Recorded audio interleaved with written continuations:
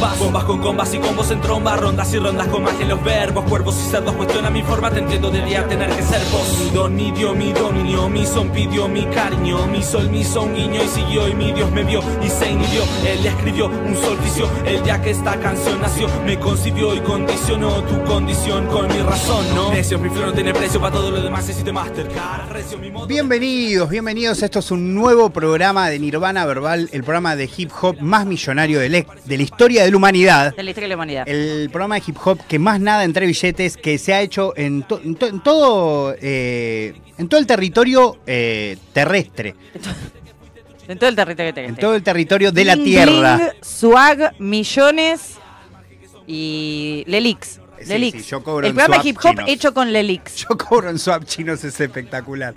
Eh, mi nombre es Faculos. eh, hoy tenemos un programa muy, muy, muy cargado. Muy cargado. Muy cargado. Te diría Pero rebalsando. todo tiene un motivo.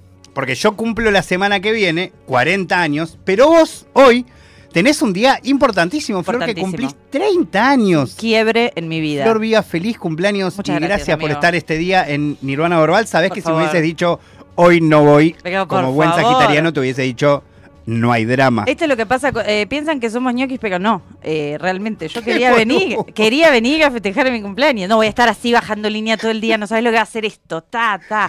Eh, sí, no, efectivamente, eh, me encanta mi eh, Nirvana, así que obvio, me Bueno, encanta. y hoy tenemos un cumpleañito fuerte para Un Flor fuerte. Viva. Eh, pero aparte, hoy lo estaba pensando y tenemos fiesta, porque No, DJs. tenemos todo. Tenemos velas, vamos a decir. Velas. Tenemos música. Sasa tenemos, Sasa. Tenemos sasa. Sasa fuerte. Exacto. Eh, tenemos realmente de todo y muchos invitados. Es literalmente Ah, no. Mi, mi fiestita de cumpleaños del viernes. No, además es increíble porque se ha, eh, digamos, se han acumulado en un mismo, en un mismo día un montón de personas con las que, en mi caso al menos, quería charlar hace mucho tiempo. Una de las primeras personas que nos va a, que va a pasar en un ratito con nosotros mientras escuchamos unas canciones es Mau la Mónica o Maula, como lo conocen, o como diría el doctor, el Maradona del THC. ¿no? El Maradona del THC Me parece que es. Y creo que le queda chico, creo que le queda chico. Eh. Es, es realmente una persona que se ha hecho muy visible en estos últimos tiempos a través de, eh, sobre todo, algunas, algunas personas que nosotros admiramos un montón dentro de la escena de hip hop, como Duki, como Easy, como el Doctor, que han compartido su trabajo, como Eladio Carrión, ni más Claro, ni menos, tranqui, por tranqui. poner algunos ejemplos. O sea, es, eh, es internacional nuestro, Sí, sí, sí. nuestro amigo Maula. Eh, se dedica básicamente a algo que esperemos, ojalá, que en el país que se viene siga teniendo cada vez mayor visibilidad y mayor eh, un, em, Desarrollo. desarrollo y mayor legalidad de todo tipo, todo lo que necesita, porque Mau- Libertad, ¿no? Libertad. Vamos, viva la libertad, carajo, ¿no? Mau- ¿O no? Ah, ¿no Mau era? exactamente es eh, cultivador, pero a la vez es un emprendedor. En un rato nos va a contar un poco más sobre su historia. Eh, es bastante interesante. Cada vez que aparece una figura de estas características en esta escena, para mí es importantísimo conocerlos y hablar con ellos, conocer de su vida, porque inevitablemente me lleva al momento en donde yo empezaba a escuchar hip hop y lo veía a Snoop y lo veía a Nas y lo veía a Tupac y a Biggie y a, y a 50 y a Kanye y a Jay-Z. Todos tenían al lado siempre al cultivador, Su amigo, gurú del THC. o a su gurú del tal cual, su gurú del THC. Aparte, Porque ¿cómo además nos troleó Snoop esta semana? Espectacular. es como el momento para que venga Era Mau. obvio que no podía dejar de fumar el Snoop Dogg. Es como... No, aparte yo ve la remorfé y dije, no, acá está pasando algo más. Sí, sí, sí. Ah, Vamos a investigar. No, troleada. Fuiste troleada por Snoopy Dog Dog. Así que bueno, eh, además viene Pato Smink, eh, DJ, un verdadero intelectual de la pista de baile. En un rato vamos a hablar con él. Estuve bailando sus temas hace poquito. ¿En sus serio? temas no en realidad, Ah, los en, jingles. En, gel- en gelatina. Sí. Espectacular, espectacular. Le mandamos un charaba a la gente de gelatina y también a la gente del Club C. Y por si fuera poco, también viene Dieguito Arquero. Claro, tranqui. Invitado internacional encima. es todo Invitado fantástico. Tenemos muchos invitados internacionales. Tremendo. Y tenemos otro invitado internacional. Sí. Que es nuestro compañero, el número Messi, que es Manu Basile, hermano. ¿Cómo andás? Facu, Flor, bien. Estás agotado, te conozco. Estoy boludo. agotado, Te estoy conozco. Ya cuando te duelen agotado. las piernas, Sí, sí, estás sí. en el Basile eh, que necesita descansar. Sí, sí, sí, sí, totalmente, totalmente en esa. eh, pero estoy contento también, eh, está eh, por el cumple de Flor Viva. Vamos. Y después también estoy medio en modo, por la situación actual de- del país. Sí, sí, estamos fingiendo demencia acá. Y todo lo que pasó. No, bueno. Yo estoy en modo, no me importa nada. Sí, No yo no me estuve en la misma, o sea, social. estuve en, en huracanes. ¿viste? Totalmente. Pasé por los, todas las etapas del duelo, ahora ya estoy en la post que es fingir demencia. Totalmente. Es mi cumpleaños, se van todos a cagar. Bueno, Aparte- podemos quedarnos en vez de huracanes en el huracán de Easy que El viene huracán en, de en Easy. poco Mal. tiempo. Me gusta. Aparte cobra un millón de pesos. Claro, boludo, chill. 800 mil, pues sos columnista. Ah, 800 mil, 800 Sí, mil. eh, claro, no sé, se sube el ya se está subiendo al pony. conductora. Claro, yo estoy en un Pero palo. soy, operador, Yo- soy operador del video, o sea que cobro en total Uh, casi ah, boludo. dos millones de pesos. No, recabió. Facu, nos recabió. Re pegado. Eh, pero bueno, nada, en esa, estamos en, en modo de las dance y contento de estar acá porque hoy tenemos charlas muy interesantes que tengo muchas ganas de tener, así que contentos, como siempre. Así que lo que les propongo a todos los que nos están siguiendo, sea a través del stream de Nacional Rock, sea a través de la radio, por donde sea, en cualquier lugar del mundo que nos estén escuchando de la Argentina. Gracias Lorena por Es el feliz que- cumple. eh, esa, Lora Albarracín, le mandamos un gran shout out. Y mm, lo que quiero es. También está Buda, que nos vino a visitar. pero está acá. Boludo, esto es ter- eh, no puede ser, nada más Está el esto. joven Buda. Eh, Mau, quiero decirte que el joven Buda que está afuera eh, te admiro un montón. No sé si te lo dijo, pero. Tienen que eh, charlar ahí. Vino también porque te quería conocer a vos. Eh, así que bueno, vamos a escuchar un poquito de música, si les parece. Obvio. Eh, me olvidé de saludar a Dali, que siempre nos hace la Dali. operación de sonido y la rompe absolutamente toda. Operadora de primera categoría. las primeras horas que hemos tenido en casi todos los Nirvana Verbal, al- como mínimo de mitad de año eh, hacia adelante. Vamos a escuchar un poco de música, vamos a invitarlo a nuestro amigo Maula que conozca la terraza de la radio y después vamos a venir con él a iniciar este programa con la primera entrevista, que va a ser él por supuesto, después viene Pato Smink, después de Guito Arquero, quizás tenemos una sorpresa más, tenemos tres horas de programa y nos queda hacia el final cantarte el feliz cumpleaños. Muy bien, me O gusta. Deberías haber elegido toda la música vos hoy, Florencia, no me di cuenta. Bueno, te puedo pasar un par. No, no, podés elegir la música de la última hora, ¿o no? Me gusta. Toda la última Me hora gusta. es by Flor Viva. Estoy. Escuchamos entonces ahora una canción de Willy DeVille de a capela, es Me Ignoras. Me Ignoras, esta es la historia de mi vida, literalmente. Momento sad en el stream. Eh, así que me voy a eh, con- eh, voy a intentar recibir un abrazo confortable de Willy DeVille y de sus barras. ahí está, perfecto. Y de acapela escuchamos un poco de música, arrancamos con este Nirvana verbal y seguimos en un segundo con muchas entrevistas hasta las cero en el programa de hip hop de la radio pública.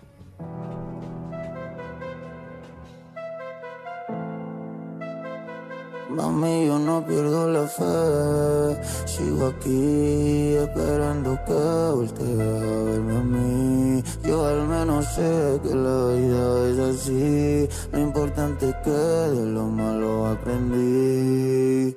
Que la que me quiere no la quiero. Y la que yo quiero me ignora. Seguro es porque no hay dinero. Contestadora.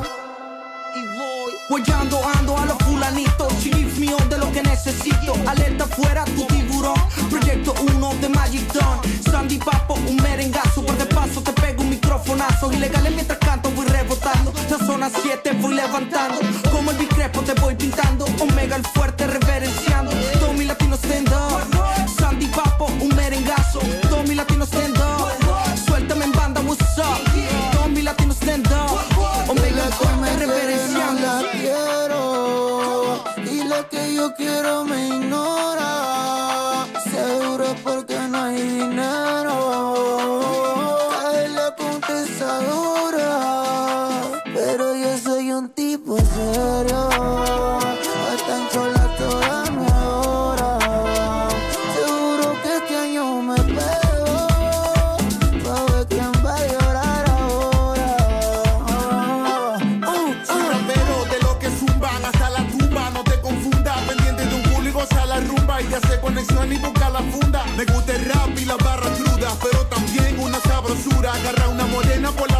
y baila toda la noche, suda que suda. Oh, todo mi latino stand up.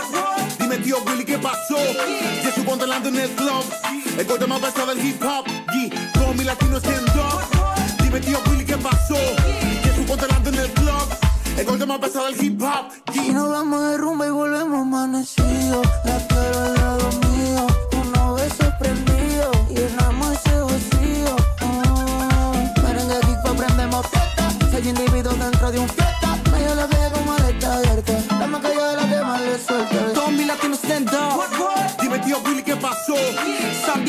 Sandy Papo, El golpe más pesado del hip hop. Yeah. Tommy Latino stand up. Dime tío Billy qué pasó. Sandy Papo, un merengazo. El golpe más pesado del hip hop. Yeah.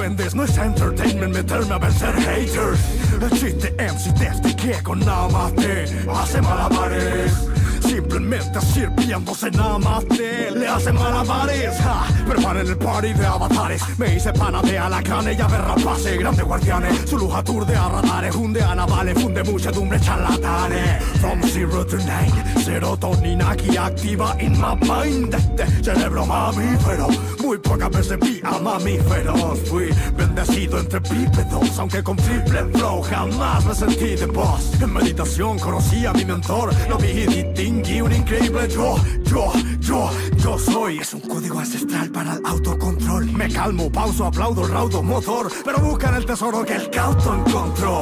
Oh, contar la Hay que cachar la luz, loco.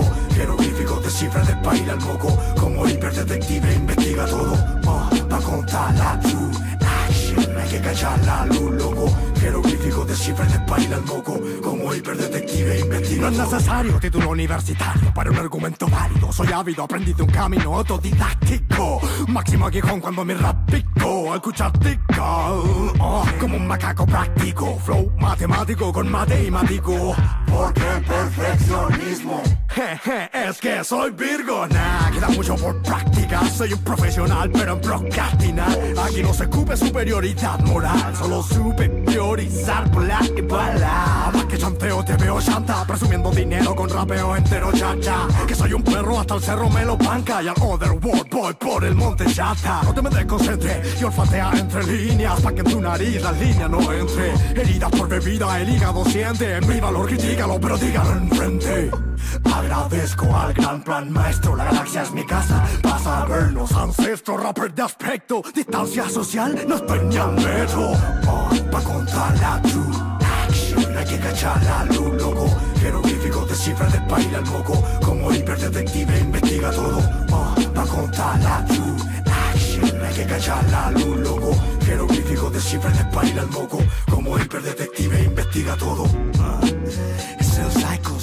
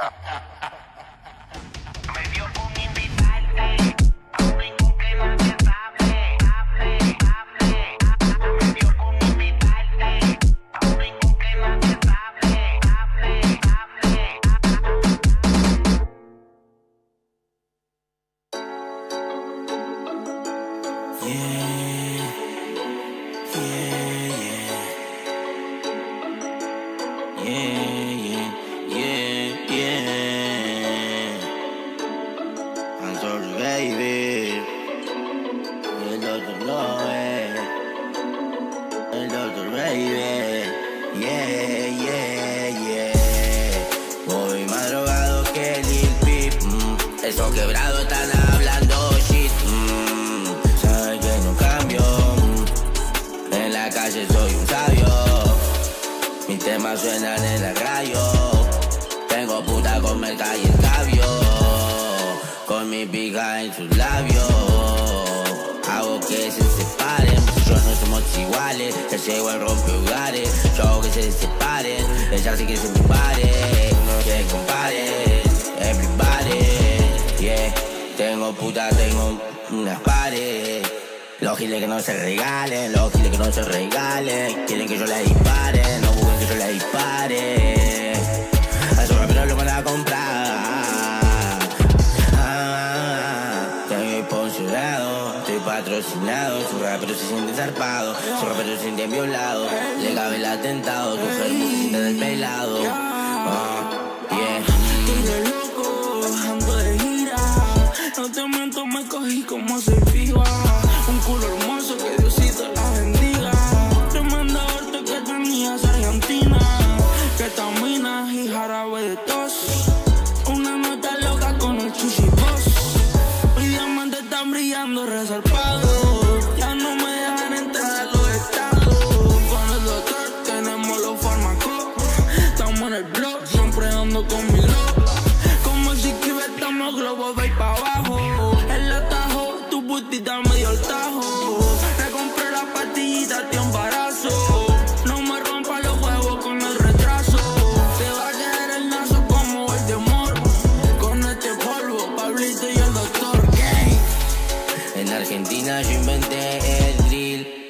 Yo no fui el primero en hacer drill. Mm, vengo sufriendo de chico, vengo de miseria y delito.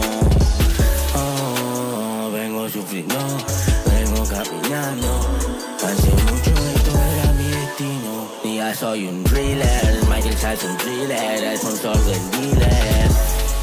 Y es ni Macri ni Kinner. Un barrio de también de asesinos. Vengo del Lupino, vengo de San Francisco. Ahora la chota me crece como el obelisco. Voy a agarcharme al mundo, voy a agarcharme al mundo.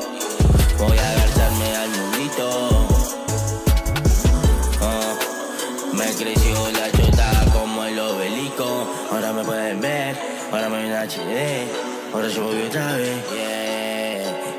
Argentina yo inventé el drill. En castellano fui el primero en hacer drill. Mm, no me comparen con cualquier kill. No se pueden comparar. Esos giles rapean muy mal.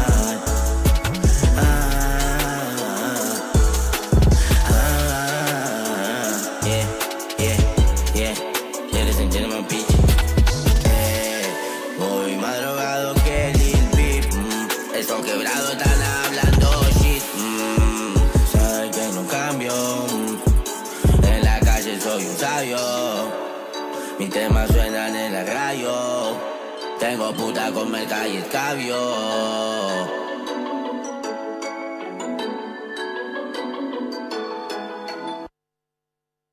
Siempre hice todo como quise, sin pisar cabezas. Amor y negocio, cuentas claras arriba de la mesa. En mi grupo solo hay amigos y eso no me pesa. Si somos del mismo equipo, no hay rangos entre las piezas. Esto es rap, men, no tengo plan B. Trabajo para rapear y rapeo para mi sangre.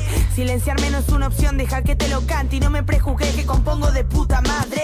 Pocos dan una mano, muchos hablan en vano y cuando te ven arriba vuelven por una colabo. Tu- tu concepto de pegado es el equivocado y cuando llenas una sala siempre es por tus invitados. Me quedé esto es frío calor. Pinto descargo guacho, ¿quién es tu compositor? Acá lo que escuchas sale desde mi corazón. Sofía escribe rimas, Zoe les pasa valor.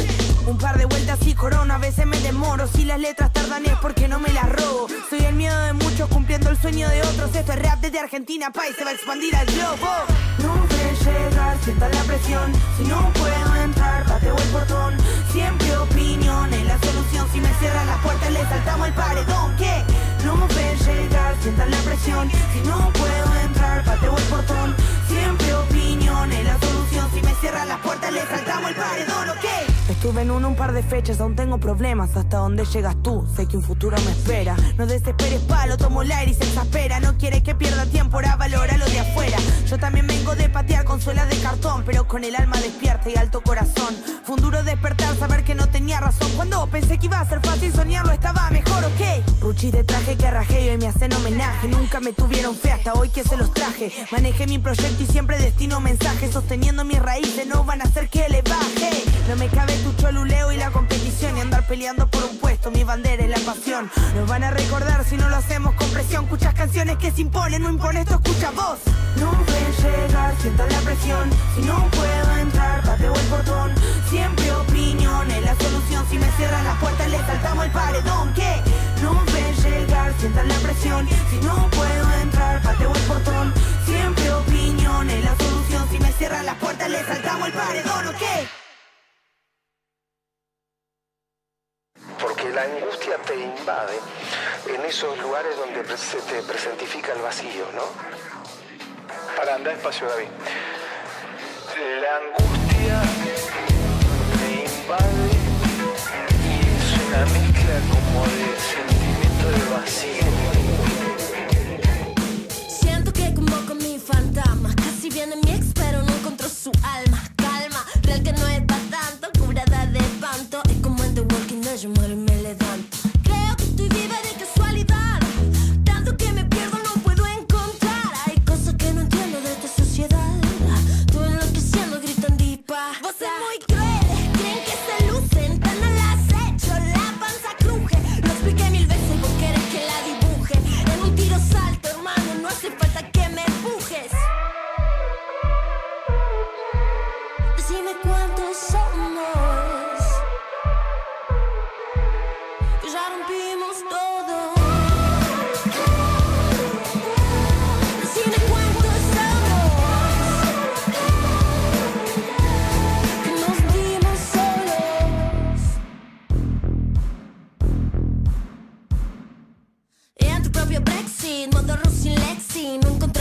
vestir, ya no soledad.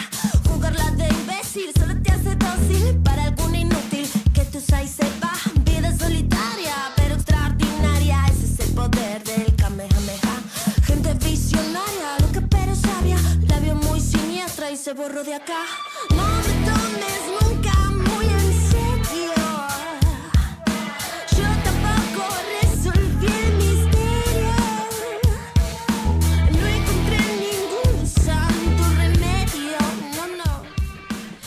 Continuamos en Nirvana Verbal, el programa de hip hop de la radio pública y como venía diciendo, hoy tenemos muchas notas. También podemos afirmar que además va a estar la Cruz Rod con nosotros, porque también está afuera, además Bravo. de Pato Smink, además de quien tenemos ahora, me parece espectacular la manera de definirlo del doctor, que es el Maradona del cannabis, el Maradona del THC o como sea eh, que ustedes quieran decirle. Estamos con Mau La Mónica. Es una nota que tenía muchas, muchas ganas de hacer. Le agradezco a, a Juan, eh, quien fue productor de, de Bali, de Viaje a la Isla, que es quien me hizo la conecta, que permitió que, que yo le pudiese escribir a, a Mau. Así que bienvenido a Nirvana Verbal, hermano. De verdad, un honor. ¿Cómo Bueno, estás? chicos? Primero que muchas gracias.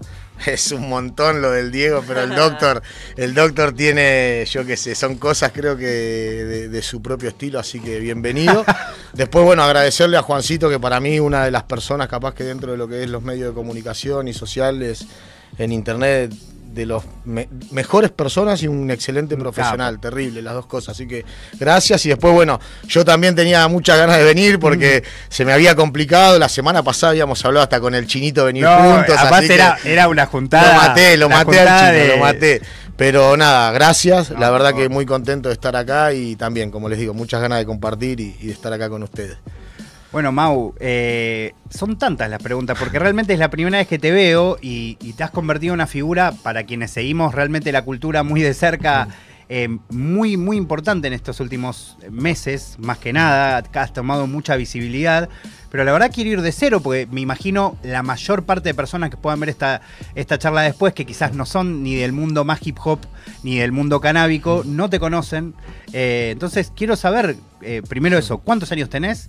¿Y hace cuánto te dedicas a, a cultivar? Eso como para arrancar. Tengo 36 años, cumplo ahora el 24 de diciembre 37, ahí en Nochebuena. Tengo dos hijos, Emma y Río, una nena de 14 años que ahora cumple 15 en enero y el chiquitito 5. Mirá, eh, lo que pasa que es como son etapas, porque te podría decir que fumé, ponerle con 14, 15 años mis primeros porros. eh, mm, yo estaba en un colegio privado, mis viejos me anotaron en el Nacional de San Isidro, eh, pasé a la escuela pública año 2000 y 2001, me tocó vivir colegio público cuando toda mi vida familia política y familia de escuela privada, y después del 2001, que fue el conflicto, volví al colegio privado para terminar el secundario porque en el 2001 había terminado las clases antes. Ahí empezó más mi relación con la hierba y porque me empecé a ¿En juntar tu más... contacto con lo público?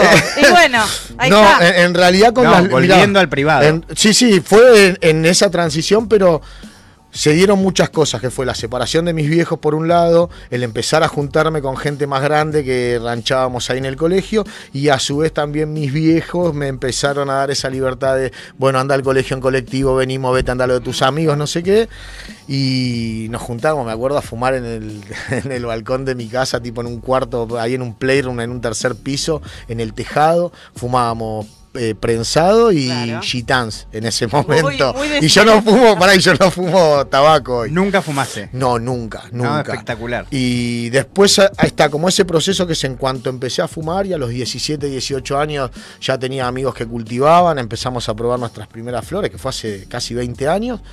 Y al principio les traía genéticas a mis amigos, desde Wonderful Seeds, que era una página de Valencia, desde Chumajec, que al día de hoy creo que sigue funcionando, eh, y cultivábamos en la terraza de, de uno de los chicos y después teníamos en ese momento autoflorecientes así en un balcón, todo siempre muy elaborado. Yo ponerle en ese balcón me había mandado a espejar los vidrios de afuera para que me rebote el sol y ya sacaba autos con 100, 120 gramos, capaz que hace 15 años, ¿me entendés?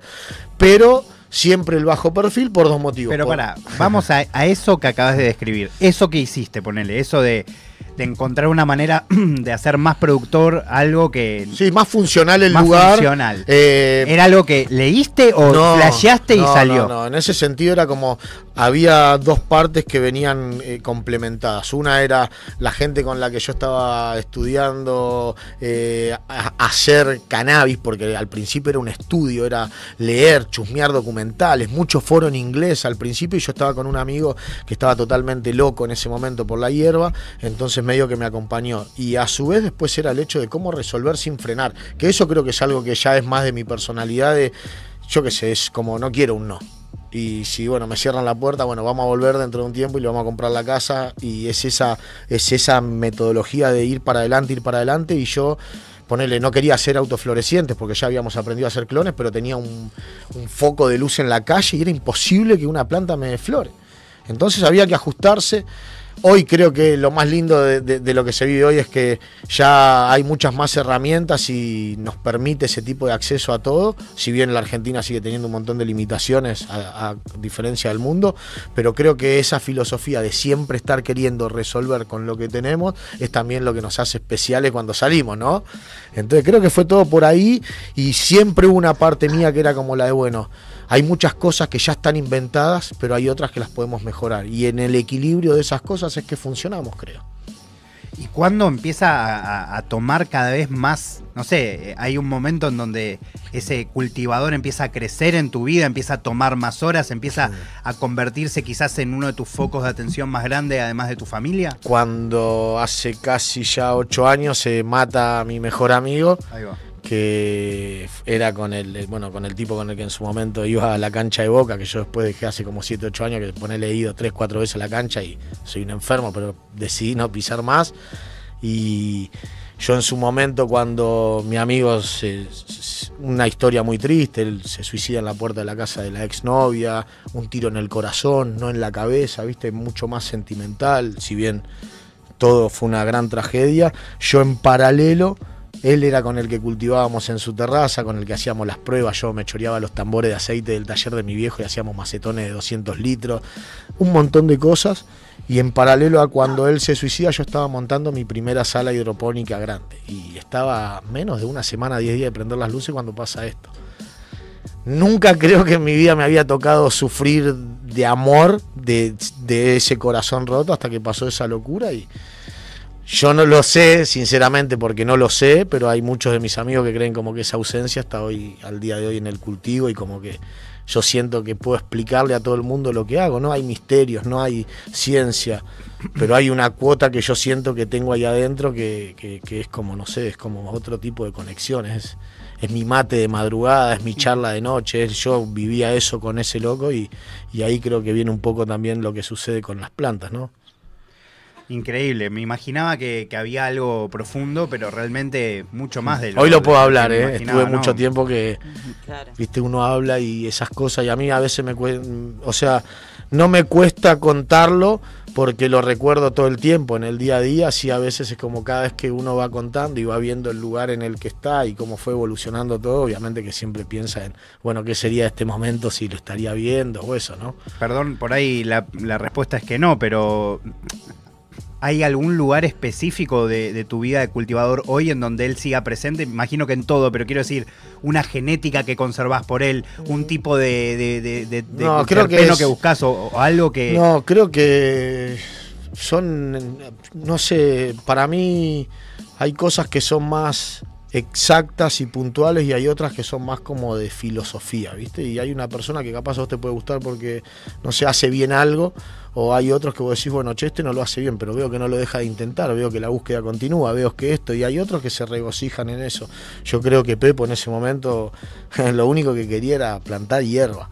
No había otra cosa que le importe más en la vida y el loco sabía que cuando había hierba y estábamos todos juntos había momentos lindos y creo que también es eso lo que uno quiere transmitir. Yo, yo le digo siempre a, a los chicos cuando vienen a hacer capaz algún trabajo puntual en la sala de que pensemos de que el día de mañana la hierba va a estar en manos de, de gente que seguramente tenga dos situaciones, o, festejar algo lindo que le pasó y comparte con amigos, el caso de un cumpleaños, el caso de un encuentro como este, y tal vez como en otras situaciones que son capaz más personales, a veces también de amistad, pero es la de, bueno, ¿cómo quiero salir de la mala? Quiero, quiero- necesito estar bien un rato, necesito desenchufarme del problema y conectarme con, con otra situación, y creo que la marihuana en ese sentido no, no quiero entrar en el detalle de lo científico, hay algo que es más un tema energético, de, de sintonías, ¿no? Que, que hace que eso suceda. Entonces, yo qué sé, para mí, hoy que la gente me ponga como un artista de la hierba, como alguien, mucha gente toma como referencia el hecho de que uno eh, muestre lo que hace y ponga la cara. Y yo creo, como te digo, no, no hay por qué ocultarse, todo lo contrario, hay que, hay que plantarse, hay que mostrar lo que estamos haciendo, hay que defenderlo de corazón, porque el que lo defiende de corazón realmente son los que van a quedar en pie hasta el final y el resto se van a ir cayendo. Es interesante que toques este tema porque eh, creo que es una de las cosas que más aparece en tu vida desde que empezaste a, a mostrar mucho más lo que haces, ¿no? Como eh, un poco calculo que por todos esos años de, de- de ilegalidad absoluta que ha vivido el cannabis y que en parte sigue viviendo, ¿no? Como el ReproCan abre otro escenario, pero todavía hay una parte enorme de ilegalidad que no, que no se ha discutido. Eh, pero sí, dentro del mundo del cannabis hay todavía una cosa muy de no, no, no, eso, lo que acabas de decir, no nos mostremos, no digamos dónde Yo- estamos, no, no mostremos la cara. Al día de vos hoy- haces todo lo contrario, Bueno, es, ex- es mostrar, explicar. Porque estamos en un momento, creo que como todo el mundo habla, hay cosas que tienen que venir a romper moldes. Y un, yo entiendo que haya gente que capaz los métodos no les guste, pero cuando uno viene a romper cosas, no son de suaves. No tiene que ser, lo, no tiene que dar lo mismo. No podemos mostrar lo que veníamos haciendo hace 10 años, 10 años después y seguir haciendo más de lo mismo. Entonces tuve la suerte de que me tocó viajar por el mundo gracias a la hierba, conocer un montón de gente que creo que es lo más lindo que me pasó en la vida, pero también me sirvió para decir, che, loco, estamos parados en un lugar donde no están todos. Y como te digo, con los recursos limitados. Entonces, a mí me pasó ahora el último tiempo que mucha gente me tiró un montón de bronca por distintas maneras, de, de- de empezar también a, a esto de que se genera en la cultura, cómo llevarlo a la industria, cómo le pongo precio también a un montón de cosas. Y la gente a veces se enoja. Yo creo que en el fondo no saben que uno viene del mismo lugar de, que ellos y que a uno capaz se le dio por un poco más de suerte algunas cosas más rápido, pero en definitiva creo que lo bueno es cuando alguien se juega de esa manera, porque yo no tengo ninguna garantía de absolutamente nada, eh, hace que el día de mañana los tipos que vienen atrás ya vieron que hubo uno que saltó al vacío y está nadando abajo en el agua, entonces saltemos. Y yo pienso que la comunidad tiene que ser eso, es atarse de manos plantarse, como decía recién, y empezar a defender el laburo y empezar a darle un valor que el día de mañana la gente que esté de turno, en este caso eh, este gobierno, ¿no? Eh, de última que lo vean hasta como una pata posible de la economía si nosotros no estamos haciendo nada malo. Belgrano proponía eso. Manuel Belgrano. Bueno, no me voy a poner ni Datos. pedo. Eh, no, porque Datos. entre Maradona y Belgrano cuando salga acá me van a cagar a trompada y el hate y el, los memes que me voy a comer en 10 días van a ser terribles. Pero es un lindo discurso, es un lindo discurso. Está bueno que te baje, está bueno que te baje. No, es que es, es real y ¿sabes por qué está bueno también que la gente entienda eso? que no, no hay nada de raro con ninguno de nosotros. Somos toda gente común que de repente pasó algo que tuvo un poco más de visibilidad y a veces la responsabilidad es mayor porque cuando vos tenés todos los ojos viéndote están esperando que pises el palito. Y por ejemplo, a mi entender, si bien el reconocimiento y estar hoy acá con ustedes es de las cosas capaz nuevas, ¿me entendés? Y más lindas que te Es suceden. espectacular. O sea, que te inviten a una entrevista para hablar de lo que haces. Mi movilidad sigue siendo cuando me decían que no podía. Yo sigo sintiendo que me van a decir que en algún momento esto se va a caer, que esto no se va a poder, que listo, hasta acá llegaste. Entonces, eso creo que es el cable a tierra todo el tiempo y también hace que el que lo tome de esa manera se una a la lucha, porque si vos estás viendo a superhéroe con superpoderes no te vas a ir a querer pelear. Porque yo soy un, un terrestre y no, somos todo lo mismo. Algunos defendemos con palabras más lindas, otro con alguna manera, otro capaz con el tono de voz más fuerte, otro con acciones, pero creo que en definitiva la comunidad todavía está aprendiendo a convivir porque nos seguimos peleando y no entendemos que eso nos debilita y no entendemos de que la lucha va por otro lado y en el momento en que la lucha o la gente entiende que va por otro lado, las cosas hasta en la sala suceden mejor. Perdón, antes de que Sí. quiero hacer una pregunta puntual que es eh, y un poco hacer una introducción, sobre todo para quienes no están acostumbrados a consumir cannabis. Hay algo que, que quienes disfrutamos de mucho de la hierba, como le decís, eh, que pasa quizás cuando te gusta mucho la música o cuando te gusta mucho un tipo de comida, eh, ¿no? Como que cuando encontrás algo que está tan hecho eh, o tan conectado con lo que vos estás buscando, con lo que vos te gusta, con que te genera tanto, tanto gusto, tanto placer, tanta no sé. eh, Sí, sí, satisfacciones. tantas en algún satisfacciones, tan, tan, tan especial, ¿no? Como cuando comes ese plato de esa milanesa con papas fritas de, que te hace una persona especial y que nunca vas a encontrar algo distinto en otro lugar, como hay una conexión muy, muy, muy fuerte. Y quiero preguntarte un poco, cu- ¿cuándo te pasa eso con algún, cu- cuándo aparece ese artista por primera vez de cualquier eh, eh, tipo, no sé quién fue la primera persona, que vos ves esa cara, vos decís, y porque vos antes nos decías como gente que me ama, y claro, yo entiendo por qué te aman, más allá de que evidentemente sos un, sos un divino realmente, eh, y te agradezco que hayas venido, pero, pero también hay algo de encontrar esa magia en, en- eso, como dijiste antes, el artista, ¿no? O lo que sea, que debe ser muy especial para esas personas de, ah, no, hay un chabón que hace esto así. Creo que fui yo como fumador. Porque yo todo lo que hice toda mi vida fue para mí primero. Claro. Y yo quiero fumar más rico que todo el mundo entero. Pero, de- a ver, eso por un lado y medio en chiste, medio real, pero después, eso si bien es como el estereotipo, la persona la hicieron toda la gente que me acompañó en todo el tiempo. Amigos con los que hoy capaz no me hablo tanto, pero en su momento hemos cultivado juntos. Gente que me ha dicho acércate a esta persona porque este vas a ver y de repente capaz no me hablo más con el nexo y con el otro tengo una excelente relación. Amigos en Uruguay, muchos amigos en Uruguay que me abrieron el cerebro 10 años. Yo mira, eh, lo, competitivo y lo, enfermo que éramos en su momento y la gente no tiene por qué saberlo y hay gente que cree que yo cultivo hace seis meses, un año, pues me ven ahora. Nosotros cuando Uruguay legalizó, nosotros cuando Uruguay legaliza hace 7, 8 años, no sé, 10, no me acuerdo bien exacto, pero cuando legaliza nosotros nos pasamos a hacer hidroponía. Porque decíamos, estos locos nos van a comer crudo, en cinco años van a estar en un nivel que no vamos a perder, bueno, hagamos hidroponía ahora y arriesguemos todo y empecemos. Y hoy, si bien eso a mí me ayudó un montón, el día que me crucé y conocí mis amigos y capaz que uno en su momento los hubiera visto como competencia, o este es mejor no sé probé el mejor porro de mi vida en manos de un uruguayo, el Diegote, con el Lean, eh, el Jonah, otro gran ex- expositor, y, el Mati Hardy, pero ponerle en ese momento fue la hierba de- del Diegolo. Y vi que había alguien que estaba haciendo cosas que yo no hacía. y vi cosas que capaz a nosotros nos tocaba cada tanto, pero acá ya estaba el laburo hecho. Y cuando le pregunté a los pibes cómo era la forma de laburar, yo tiraba 20, 30, 40, 50 semillas por cultivo, cuatro cultivos al año, 200 variedades al año, todas nuevas. Y los chicos me decían, hace una, la que más te gusta. La que más te gusta, como perfeccionarla. especializate, ponele. Porque vos vas a hacer. Esto es como hacer un asado. Lo haces la primera vez, te sale una manera. Lo hiciste 10 veces, lo hiciste 10 veces. Y te empiezo a mejorar la carne. Y te Claro. traigo un poco más de leña, más natural. Te digo, che, mira, este está alimentado con un pastito especial. bien- todo va mejorando, todo va evolucionando. Y la realidad es que también tenemos que estar en, en- en un nivel de, de pasión que nos tiene que igualar lo que nos falta de, de recursos. Entonces yo me tengo que volver loco por esto. ¿Por qué? Primero porque tengo dos pibes, tengo la mitad de tiempo de los que no tienen hijos. Y segundo porque cuando quiero hacer todo esto y veo lo que tengo y veo lo que hay afuera, digo, bueno, ¿cómo lo compenso? Y bueno, lo artesanal, la selección, el ojo, la mano, nosotros. Hay gente que mira nuestro laburo y piensa que son 10 tipos laburando, que en marketing hay una persona y que hacemos todo. Soy yo con mi celular y Pablito que está acá conmigo. Y el Messi, que el Messi desde lo administrativo, desde los papeles, junto con nuestro equipo de abogados y todo, nos acompañan 100%, pero somos dos tipos los que nos ensuciamos las manos. Yo y un basquetbolista profesional.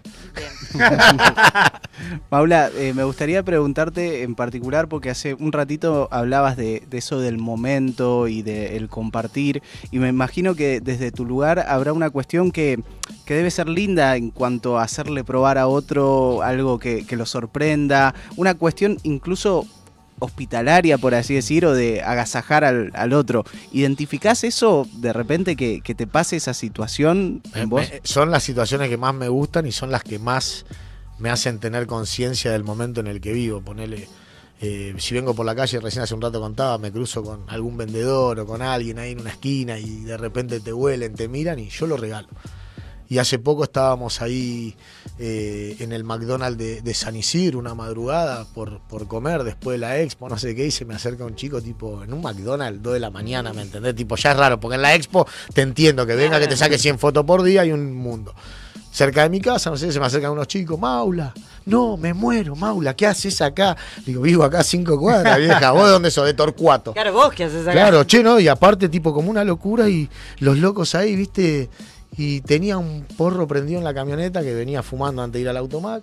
Le digo, loco, ¿me acompañás? Fuimos a la camioneta, pum, abro la camioneta y el porro, yo me había bajado hace 7, 8 minutos y el porro todavía sigue prendido. Hasta esa te sale, ¿viste? Cuando te iluminás y te sale la que vos decías, La "Esta, magia. ni Cine, sé. Y el- cine, y el es cha- cine y el-. Total, che, puchito, y- y, puchito. ante cualquier duda, el loco lo va a escuchar, calculo, porque si me reconoció en un McDonald's, esto lo va a ver.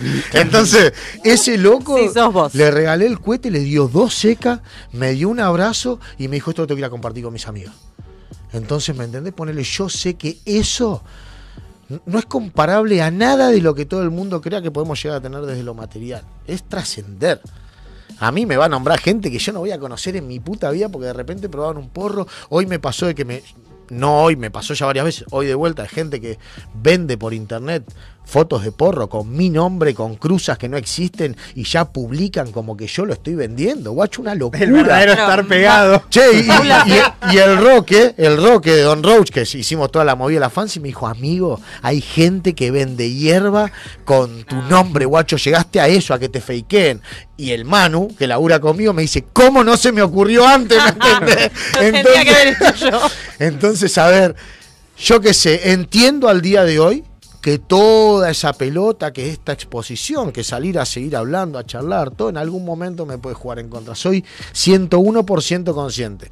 A la gente cuando si en algún momento sucede eso, cuiden de mis hijos, que es lo más importante, y después, como te digo, sin miedo absolutamente a nada. Ojalá no suceda eso, pero sí que exista el escenario para el día de mañana con los tipos que toman decisiones importantes, que nos inviten a charlar y contarles, porque tal vez tenemos soluciones de una manera que nunca la vieron antes, porque somos gente que no hizo esto nunca antes, jamás, en la vida ni en la historia de la humanidad.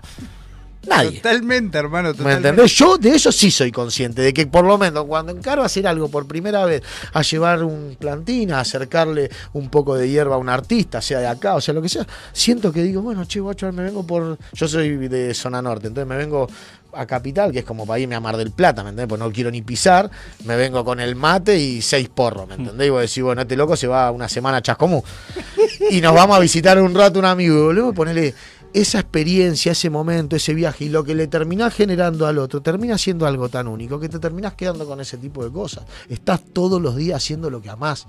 Deja de ser un trabajo, pasa a ser tu vida, pro y contra. El pro es que disfrutás y gozás todo y la contra es que las 24 horas vas a hablar de lo mismo, te van a preguntar lo mismo, la gente quiere saber eso. y Hay es un como, momento donde decís, ok. Hoy. Después de la expo y todo, pero a ver, te digo eso y seguimos agarrando proyectos, seguimos laburando. No, la verdad que tengo la posibilidad de disfrutar mucho a mi familia, a mis hijos, a mis amigos. Trato de que lo que hacemos quede en nuestro círculo desde lo desde lo funcional, desde lo desde el trabajo, ¿no? Porque también eh, creo que está bueno eso, apoyarse en la gente que todo el tiempo estuvieron al lado tuyo. Mis viejos no entienden absolutamente un carajo de todo lo que ha sucedido, pero me acompañaron siempre. Entonces, lo que te digo, ponerle. Esas son filosofías, no son acciones. Porque la acción es te doy la mano una vez, te ayudo dos veces, tres, cuatro, te cago a pedo, anda, chau, para allá, listo, hasta acá llegamos. Cambio, lo otro es, no importa, ¿entendés? son mi hijo, vos confías en esto, mi viejo creyó que iba a ser jugador de fútbol y mi vieja un abogado exitoso y le salió el tipo más fumón del cono sur. Entonces, pero bueno, por lo menos con la misma pasión que hubiera hecho cualquiera de esas dos cosas, estamos acá.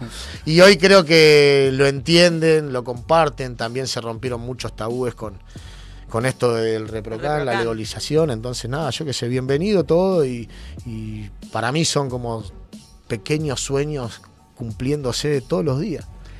Algo que dijiste, perdón, Flore, que quiero, pero algo que dijiste recién que me flashó es esto de nadie hizo esto antes, ¿no? Y sentís que quizás es eso lo que te, te conecta de repente con Duco. No hablo, con perdón, perdón, porque me van a recagar a putear. No, no, no. hablo del cultivo No, en la- sí, ¿no? yo te entendí Hablo generacionalmente que somos una generación capaz de los De lo- últimos de lo que 50, está 100 pasando años hoy- de cultivadores, ¿no? Que estamos haciendo cosas que no pasaron. A eso voy. Yo si no me van a putear.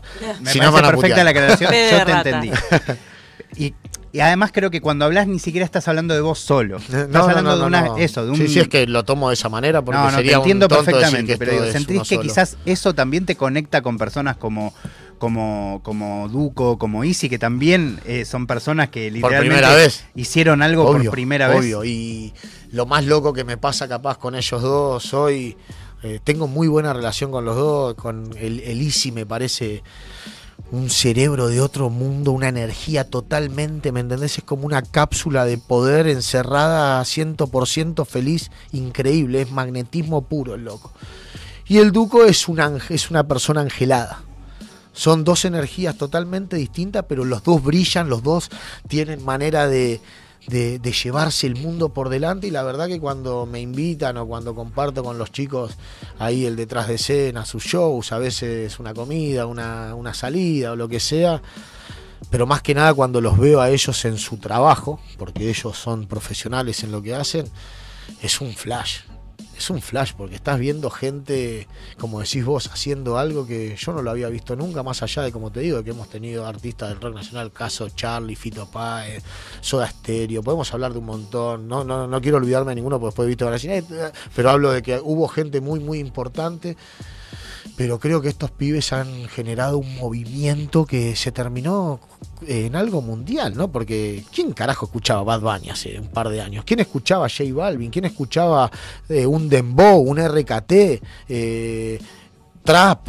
¿Me entendés? El trap. El trap es algo, yo qué sé, busquen por todo el planeta cualquier símbolo del trap mundial que haya salido hasta hoy, agarren a Alicia al Duco, muchachos, pónganlo en un costado, hagan monumento, alábenlo y arranque el que sigue. Para mí es eso porque eran guachos de 13, 14 años dejando la escuela, guacho, con una visión de que, yo qué sé, loco, no, no lo hacen, de, de 40 millones hay uno que deja la escuela Sí, sí, diciéndole a mamá voy a cumplir mi sueño de cantante. Y hay uno que dice, che, vamos a organizar una junta en la plaza, vamos a hacer quilombo, vamos a hacer batallas de rap, vamos a esto. Empezaban con, no sé, un par de guachines y de repente, no sé, 10 rondas de batalla para clasificar al quinto escalón. No, Y- o, o ir a rapear al Bondi para juntar plata para traer Pará, a los artistas y- que a él y- le gustaban. Y nombrame un semillero de un club semillero de fútbol que haya sacado 20 jugadores de fútbol y miremos los artistas que han salido del quinto escalón. Paulo Londra, muchachos. Paulo Sí, Londra sí, batallaba y es un, hoy es una estrella pop.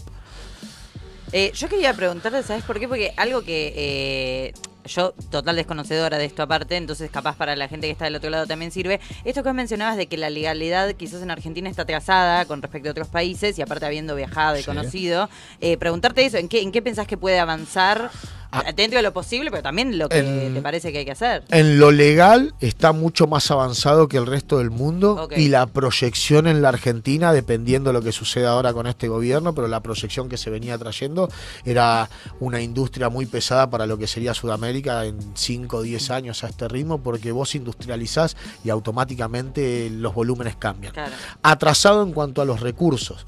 Yo trato de que ponerle nuestros proyectos, nuestras sales sean 100% productos nacionales. Las luces, Mars, eh, ta- tal cosa, WePro, esto, eh, Growcast. Entonces son controladores, son luces, son esto. Lo único que al día de hoy nosotros de nuestro lado no tenemos los fertilizantes, son nacionales porque trabajamos con Advance, que es una marca de Canadá, y, y trabajamos con ellos directamente. Pero a ver, voy a que vos todo el tiempo te la estás bu- rebuscando. ¿Cómo carajo hacer para, con lo que tengo, hacerlo? Porque cuando traigo algo de afuera me vale dos, tres veces Claro. más.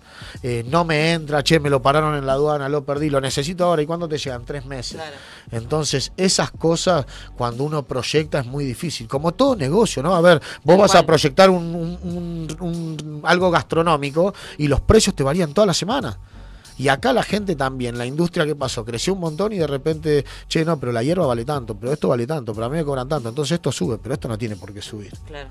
Y yo creo que es algo que va a suceder en todos los aspectos sociales de la Argentina hasta que realmente todos nos demos cuenta de que depende de cada uno empezar a tomar conciencia sobre eso y que definitivamente el Estado acompañe desde lo económico ciertas industrias que hoy capaz no están en el foco de nadie y sin embargo con muy poco presupuesto, porque acá estamos hablando agua y campos.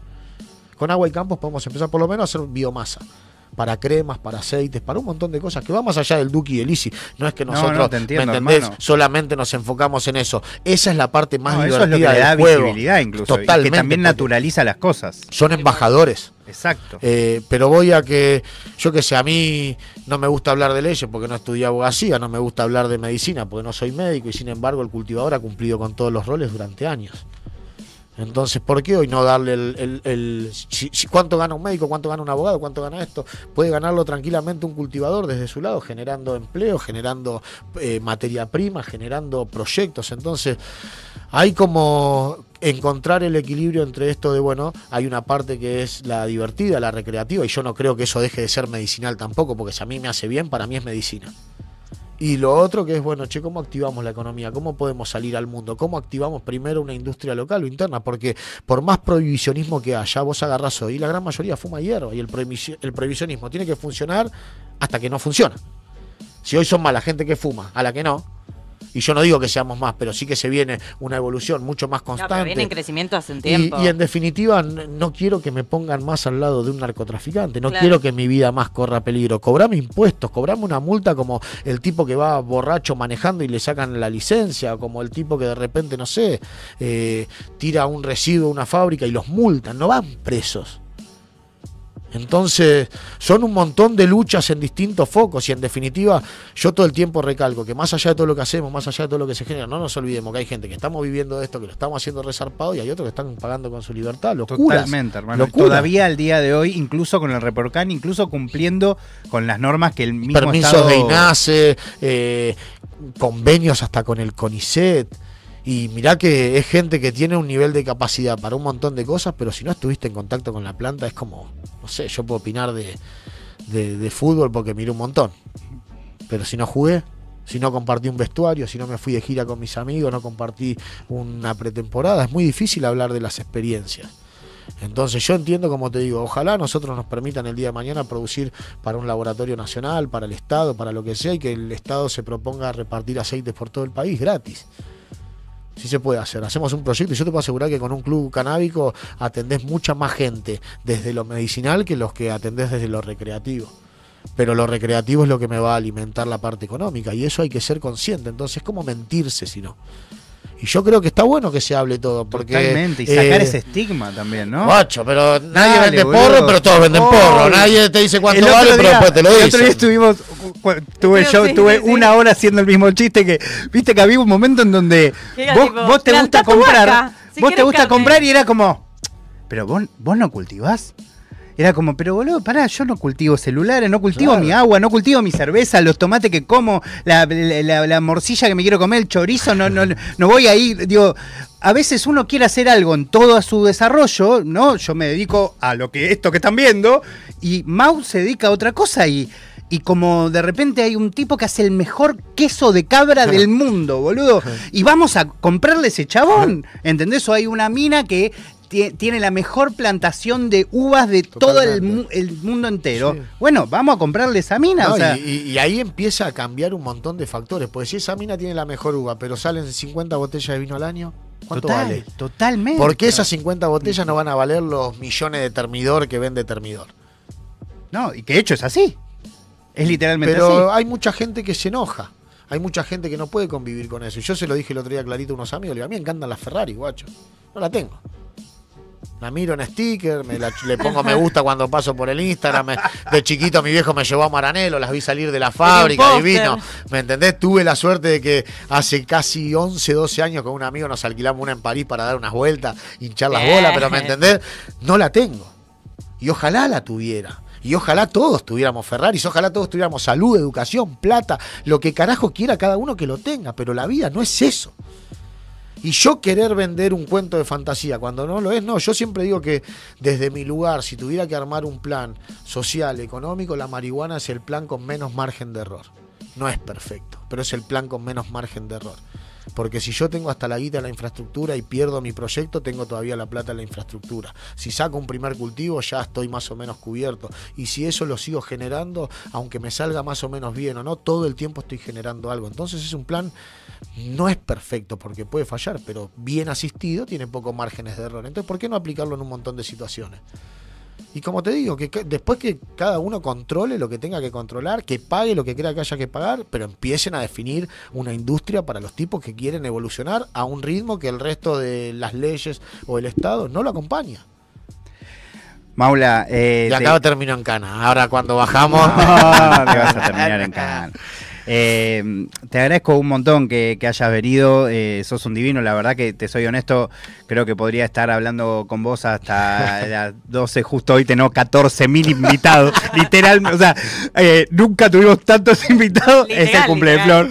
literalmente. Eh, pero la verdad, hermano, eh, fue, es un honor y ojalá que podamos repetir en, Cuando en- quieran, en chicos, cualquier momento. 100% y- Eh, y también te agradezco, me encanta que seas tan, tan genuino, que, que también quieras eso, romper con, con, todos los estigmas, ¿no? Con todos los estigmas que involucran a, a, la hierba eh, y, que te dediques también a, a hacer lo, tuyo, ¿no? Sin intentar joder a nadie, solo mandándole y, vos con tu, con tu mundo. Y mientras lo decís es como un espejo, ¿no? Porque si bien nosotros estamos rompiendo un montón de estigmas, ustedes nos están dando el espacio para que ese estigma se rompa de otra manera. Entonces, yo creo que lo que ustedes hacen debe tener la misma pasión que tenemos nosotros, porque acá nadie te debe regalar nada, todo lo contrario. Mm. Y, y, en definitiva, ojalá que, como todas las comunidades, ¿no? Hay, hay una etapa que es de conocerse, hay una etapa que es de convivencia, seguramente hay asperezas y en esas asperezas, por lo general, como dicen en los momentos de guerra, caen los más débiles.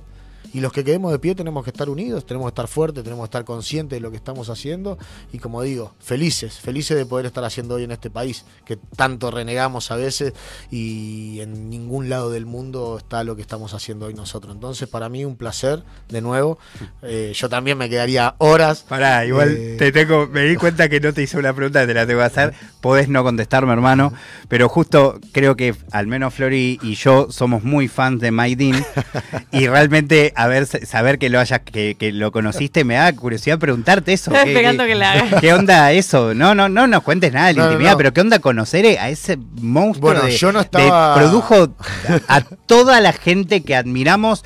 Eh, bueno, Duki es fanático, lo nombra en su último disco, sí. Yesan es fanático. Todos, todos yo lo no sabía, yo no sabía de la importancia que tenía hasta que el Duque un día, cuando le conté que íbamos a, recibir ahí a la gente de The Weeknd, me dijo, por favor pedí conocer a Mike Dean. y el día, voy a contar una intimidad, el día que lo fui a recibir al hotel con el Manu, estábamos en la casa del Duco, Mike llegaba a las dos y media de la mañana, Mike. íbamos a ir los tres, ya es amigo. Vamos. Comparto, te dije, compartimos un grupo de WhatsApp que al día de hoy para mí es lo más bizarro del mundo haber recibido hasta videollamadas de esos tipos y me hablo, me hablo al día de hoy. Nada, me hablo. No, me por eso, tu amigo Mike. Eh, entonces, eh, estábamos con el Duco esa noche. Se hizo muy tarde, a Mike se le demoró el avión, llegó como a las 4 y media de la mañana, el Duco se quedó dormido, fuimos con el mano a recibirlo. Y al otro día fuimos al recital de The Weekend y estuvimos con él en los camarines. Un ser excepcional, esas almas que uno cree que son realmente iluminadas, pero tan simple, tan simple, que es lo que hablamos. La simpleza es la, es la grandeza. Es tan difícil hacer algo que se vea simple que todos nos empezamos, viste, a enredar. Un fenómeno, un tipo, como te dije, para mí debe ser de los más graciosos que he conocido en la industria un tipo totalmente admirado y respetado por quien lo nombres. Claro. Kanye West, Selena Gómez, Madonna. Travis Scott. Bueno, es el productor de Astro World, como para sí, que nos claro. idea, ¿no? Locura y a su vez, como te digo, que le dé tanta importancia a la hierba, lo hace tan amigo nuestro y tan humano, que la verdad... No, ¿qué es lo que digo? Dentro de todos los nombres que me han tocado capaz conocer, siempre lo voy a poner atrás de los nacionales, porque los nacionales para mí van a ser los número uno, que son mis amigos. Después fue el personaje capaz más loco que me ha tocado compartir y aparte como tengo una, una noche en un hotel con él, una bizarriada fumando locura. Pero como te digo, gente que nos une la marihuana. Gente normal que nos une el amor por una planta, que nos une lo que nos genera. Entonces, nada, bienvenido eso y ojalá, eh, como te digo, naturalicemos el hecho de poder compartir eh, con esas personas, porque también ellos lo toman natural y el día de mañana comer un asado, compartir, ir a un lado, que te reciban cuando vas para lo que sea. Y como te digo, ojalá ya haya novedades pronto, porque eh, cuando nos fuimos ahí con el Duco, el Mike le tiró como para que vaya a Los Ángeles y que hagan una cosita ahí uh. juntos me tengo que actualizar la visa ya porque esa no me la quedo, esa no me la pierdo, pero creo que va a eh. ser una locura y como te digo, situaciones que pasan por la marihuana, yo qué sé. Literalmente. Literalmente. Bueno, Maula, te agradezco un montón que hayas venido. Gracias de vuelta, de chicos. Un placer enorme. Y bueno, cuando quieran, están invitados primero a pasar por el club y, voy a, a, compartir. Voy a pasar. Y después, cuando quieran, ahí repetimos. Así que muy, muy contento. Gracias. Capo. Bueno, eh, escuchamos un poquito de música. Tenemos a Crurro, tenemos a Pato Smink y tenemos también a Arquero, que lo acabo de ver por ahí. Eh, sí, está, bien la eh, Arquero, hermano, que está tocando mañana eh, en Niceto, ¿no? En Niceto, lado B, hermano. Qué facha que tenés, no te veo desde la pandemia, Titán, espectacular. Eh, bueno, en un ratito seguimos, tenemos mucha data, así que escuchamos un poco de música y continuamos en la radio pública con Nirvana Verbal.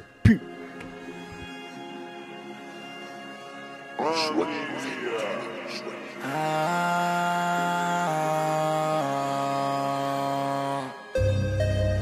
Sigo dando la vuelta a la luna, para matar mi duda. Puesto al cuervo como carne cruda. Mi diablo interno ya no me da ayuda. Y sigo dando la vuelta a la luna. Popping pills para matar más dudas. He puesto al cuervo como carne cruda. Mi diablo interno ya no me da ayuda.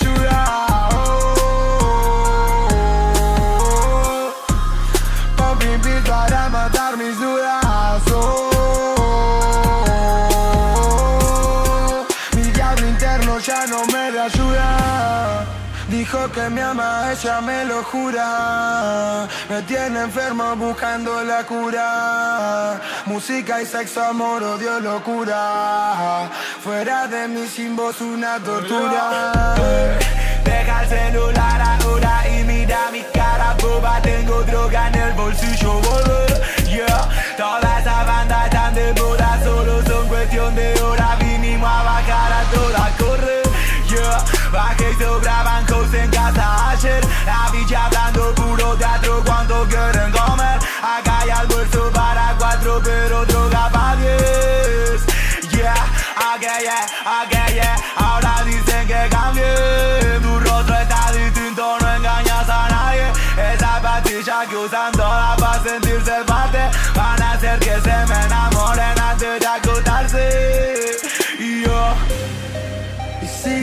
dando la vuelta a la luna. Popping pills para matar mis dudas. He puesto el cuervo como carne cruda. Mi diablo. ¿Quiénes son los raperos del mes? Yeah, la pastilla después de café Y es un barro y una botella Solo copitas de estrella. Acá nunca perdimos la fe yeah, modo diablo en vivo otra vez yeah, Drogado con H con tres yeah. Si te molesta no, no mire Fuck wanna be, no wanna again Codicia, no fallen niche No drama kid, no para mí. Quizá para vos y para tu team. Fuck wanna be, no wanna again Codicia, fuck that bitch In that couch, en el camarín En la playa, medio de la street Eh, Cuando van a dejar de imitar tanto a los que saben. Eh, Bocas nuevas dicen ser del juego y no les veo señales. Ahora en el after junta de negocio con mis inmortales. Yeah, ni una puede cumplir su promesa desde que el sol sale. Vamos a mi amor, tengo 20 Traje más de un sabor pa' que intente. Quiere más, rápido el plato bien al dente.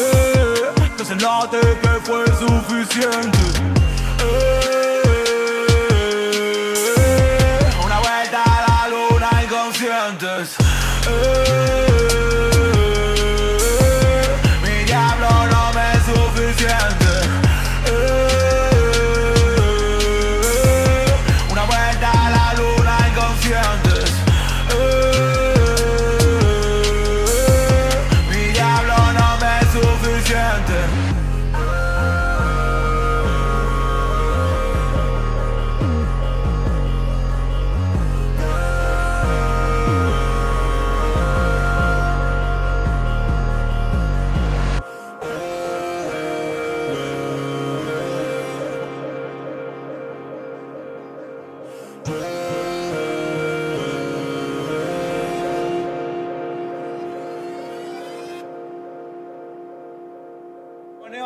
Viernes, de 21 a 0. Nirvana Verbal.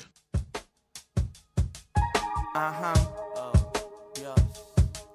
Ajá. Sí.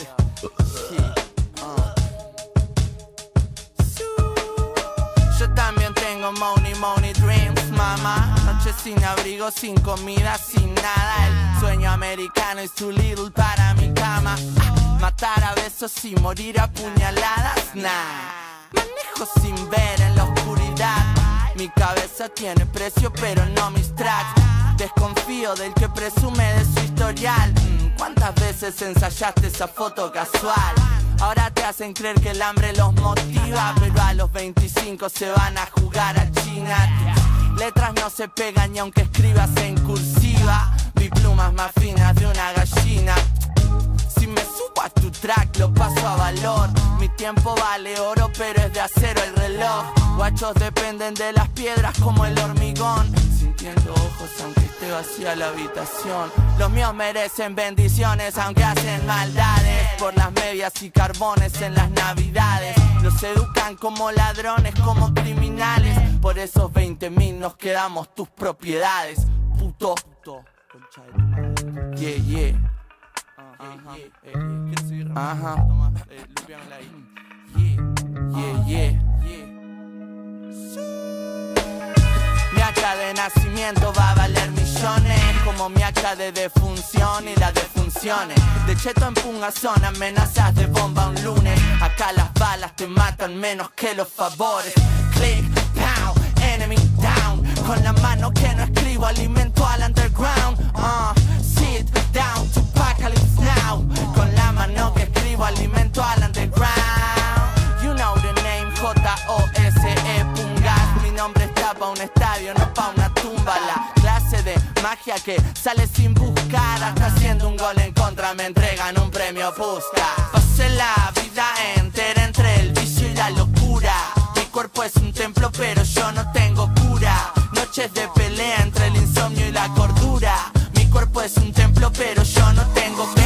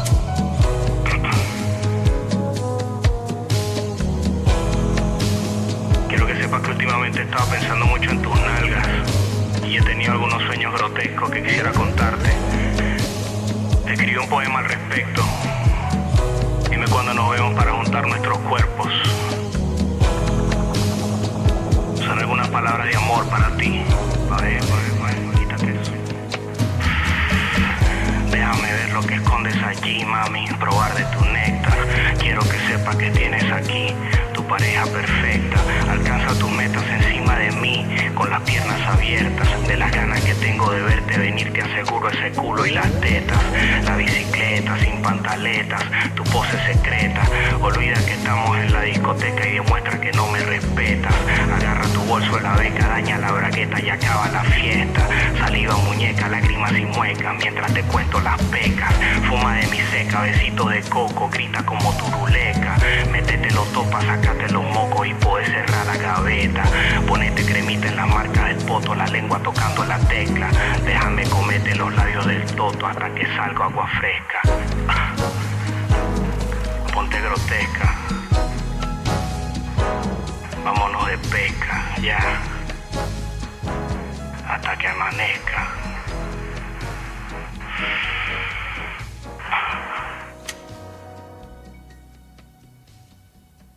Nueve, siete.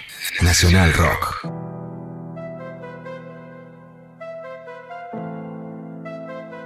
Mami, yo no pierdo la fe. Sigo aquí esperando que voltee a verme a mí. Yo al menos sé que la vida es así. Lo importante es que de lo malo aprendí.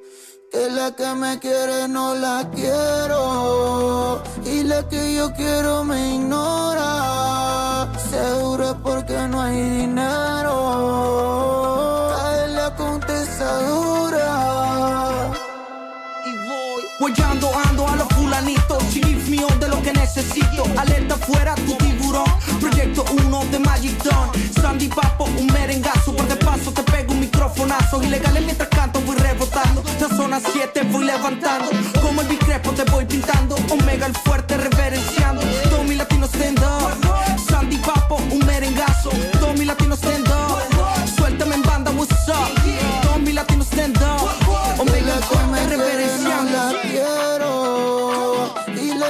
quiero me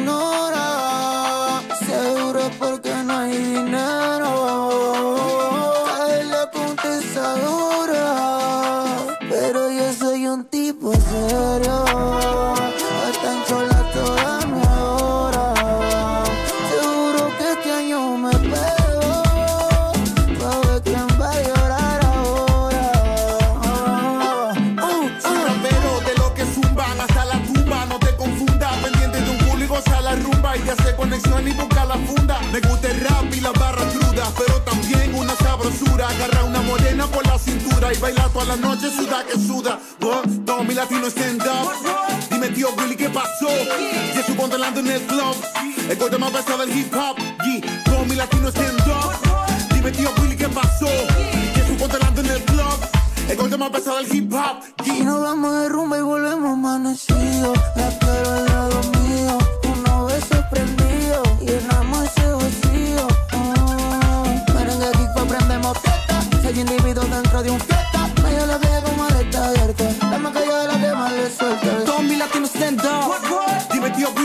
Willy, ¿qué pasó? Sandy Papo, un merengazo. El golpe más pesado del hip hop. Todo mi latino stand up. Dime tío Willy, ¿qué pasó? Sandy Papo, un merengazo. El golpe más pesado del hip hop. Yeah.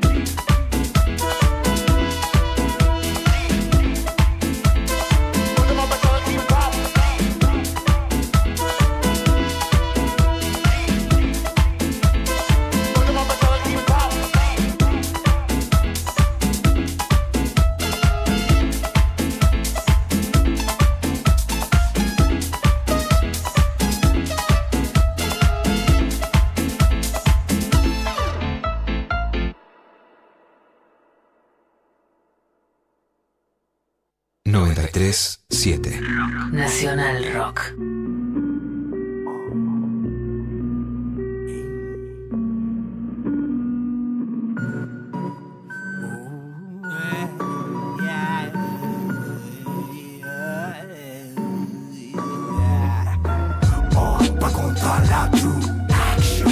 Chala, luz, loco, jeroglífico, descifra del país al coco, como hiperdetective investigador. Cachar la luz, loco Jeroglífico de cifra de baila el moco. Llegar y cruzar o disfrutar el puente. Ser presente es un programa de PC Press Enter, detente a ver en 6D Se ven duendes, no es entertainment Meterme a vencer haters. Existe MC desde que con nada más te hace malabares Simplemente sirviéndose nada más de Le hace malabares ja, Preparen el party de avatares. Me hice pana de alacrán Ella ve rapaces, grandes guardianes Su luz aturde a radares. Hunde a navales, funde muchedumbre charlatanes. From zero to nine Serotonina aquí activa in my mind. Este cerebro mamífero Muy pocas veces vi a mamíferos. Fui bendecido entre bípedos Aunque con triple flow jamás me sentí de boss En meditación conocí a mi mentor Lo vi y distinguí un increíble yo Yo, yo, yo soy. Es un código ancestral para el autocontrol. Me calmo, pauso, aplaudo, raudo, motor Pero buscan el tesoro que el cauto encontró. Oh, pa' la que cachar la luz, loco. Jeroglífico de cifra de baila el moco Como hiperdetective investiga todo. Oh, pa' contar la true. Action Hay que cachar la luz, loco Jeroglífico de cifra de baila el moco Como hiperdetective investiga No es necesario título universitario para un argumento válido. Soy ávido, aprendí de un camino autodidáctico. Máximo aguijón cuando mi rap pico, escuchar tica. Oh, como un macaco práctico, flow matemático con matemático. Porque el perfeccionismo Jeje, es que soy Virgo, nah, queda mucho por práctica. Soy un profesional, pero en procrastinar. Aquí no se cupe superioridad moral, solo supe priorizar bla y bla. Más que chanteo te veo chanta, presumiendo dinero con rapeo entero chacha. Que soy un perro hasta el cerro me lo banca y al other world voy por el monte chata. No te me desconcentres y olfatea entre líneas, pa' que en tu nariz la línea no entre. Heridas por bebida, el hígado siente. Mi valor critícalo, pero dígalo enfrente. Agradezco al gran plan maestro, la galaxia es mi casa. Pasa a vernos, Ancestro, rapper de aspecto, distancia social, no es peñamero. Oh, pa' contar la true. Action Hay que cachar la luz, loco Jeroglífico de cifra de baila el moco. Como hiperdetective investiga todo Oh, pa' contar la true. Action Hay que cachar la luz, loco Jeroglífico de cifra de baila el moco. Como hiperdetective investiga todo. Es el Psycho Son, Jog Fu in the area, que lo vida tu bala. No te digo que he vuelto porque siempre he andado por estos pulgoso de la caverna.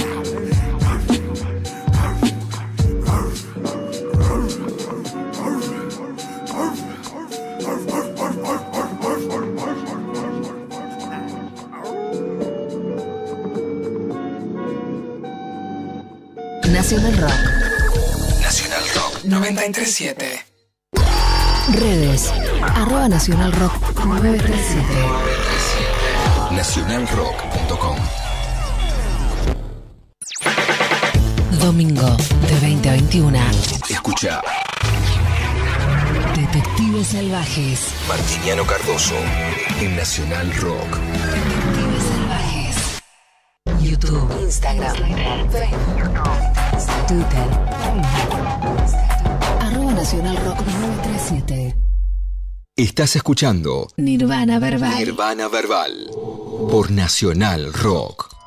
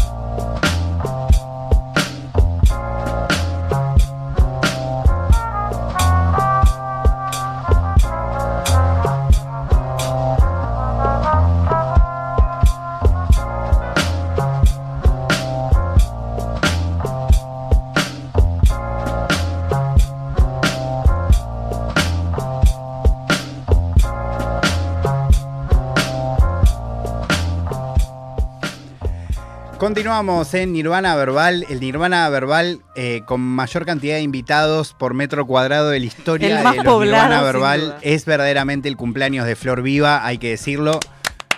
Gracias. Alto cumpleaños. Alto cumpleaños. Eh, para todos los gustos, literalmente. Incluso ahora música en vivo. Total. No, no. Y todavía nos queda hablar con Dieguito Arquero, que es un divino hermano. Te agradezco que hayas venido.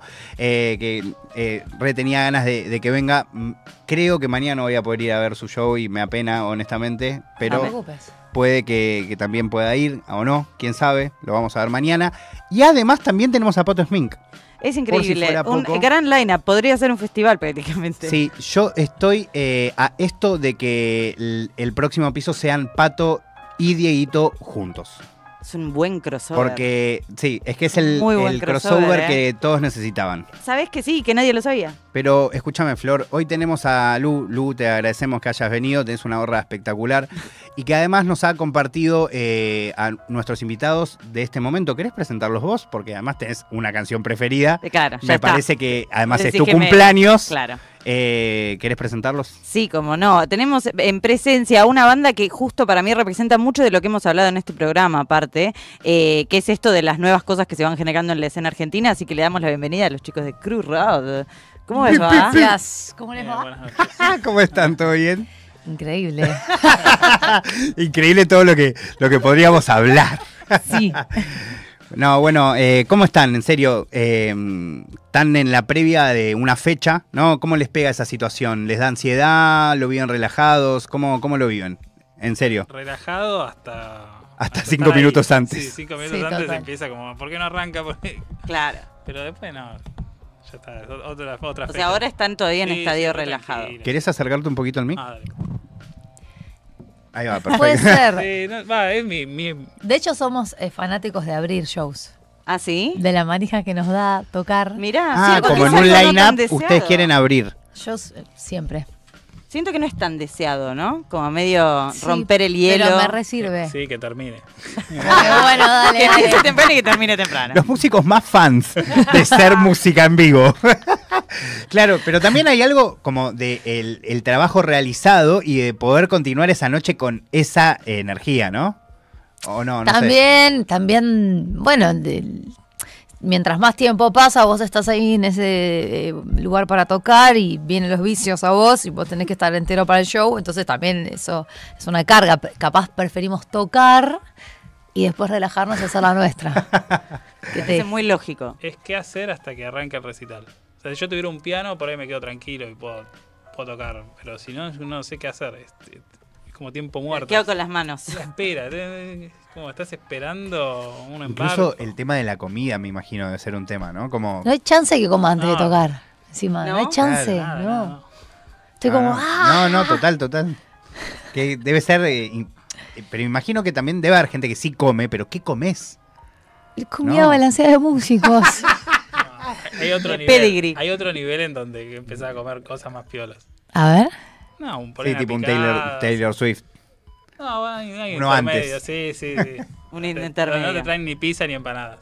Ni sándwiches. Pasa poco a nosotros, por lo menos. Todavía no. O sea, acá denunciamos falta de harinas. Eso es lo que estamos denunciando de- directamente.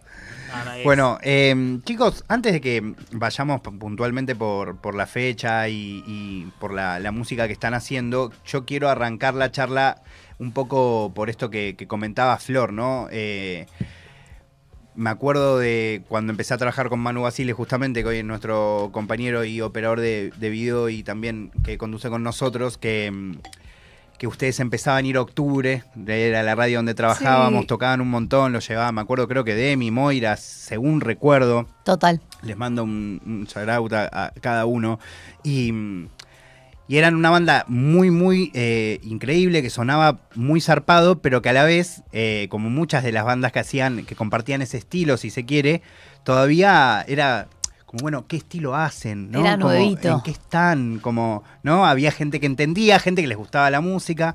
Pero de repente ahora, como ha pasado con el hip hop, como ha pasado con el rock, de repente hay una escena no pequeña, muy grande de Totalmente. bandas, muy zarpadas, cada uno con una identidad muy fuerte. Y muchos oyentes también. Muchos oyentes. Entonces quiero preguntarles por eso, ¿qué onda esto que de repente, de, de- de lo que surgió de, me imagino, tu viola, de repente ahora ya tenés muchos amigos, hermanos, primos, ¿no? Con los que Total. compartir este, este cumpleaños. Ya no hay vida. secretos. Ya todos usan las novenas y los maxietes y es algo normal. ya no tengo nada especial.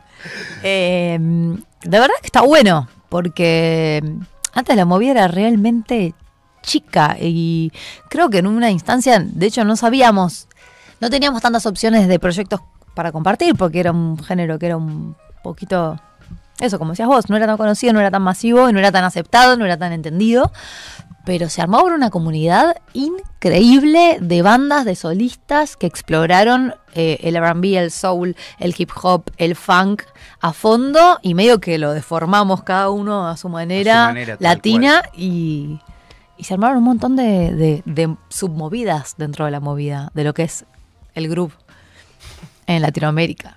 El- eh, claro, como el gran escenario del groove en Latinoamérica. Total.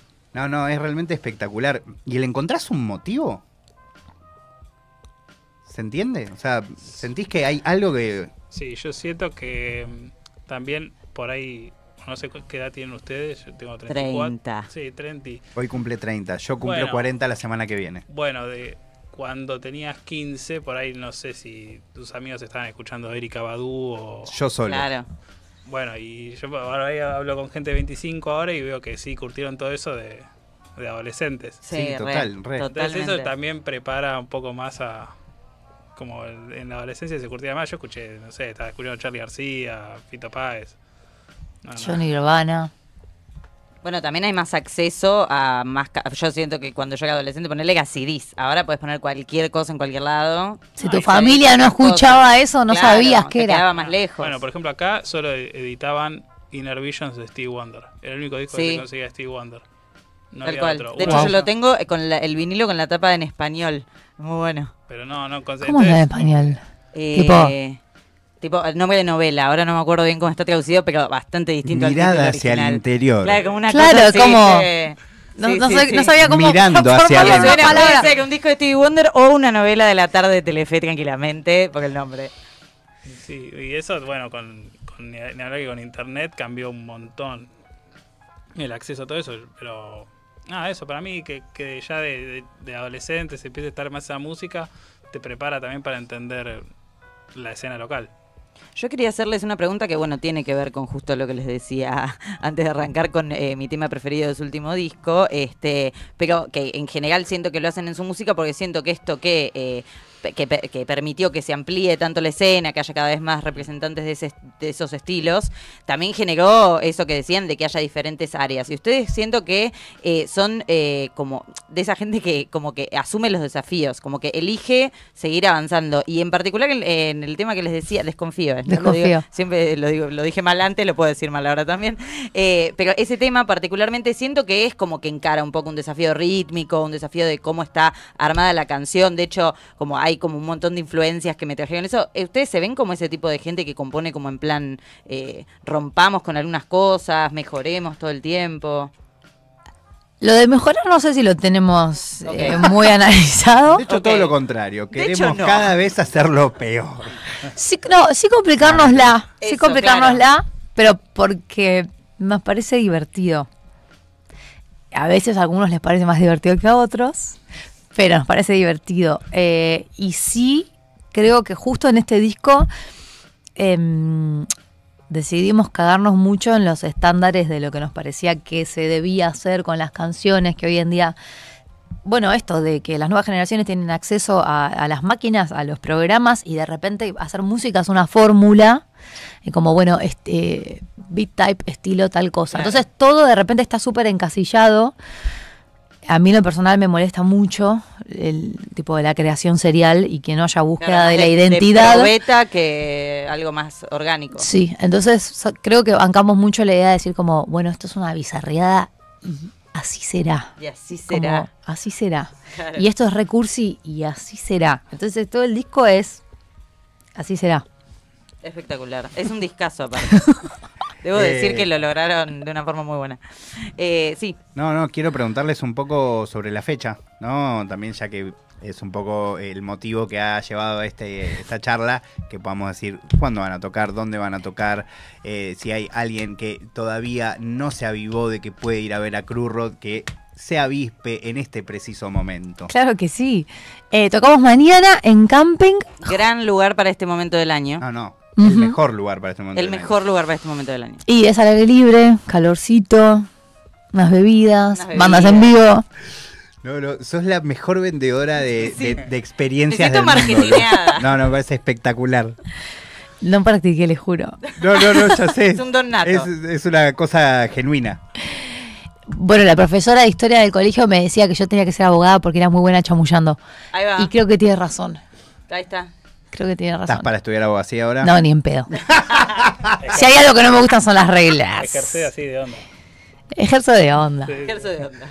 De hecho, tengo, tengo una amiga que cuando tiene que dar un mensaje importante, así convincente, serio y creíble, me tira la, la data, yo se lo redacto claro, de- y ella lo manda. Su RRPP. Sí. Mirá. Sobre todo con cuestiones laborales. Ahí está. GPT. Sí, soy ChatGPT.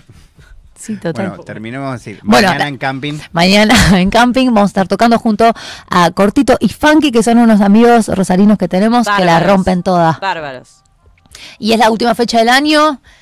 Eh, tenés una oferta de aquí y de allá. ¿Qué querés? ¿Qué más querés? ¿Qué que cerrar el año así. Tal cual.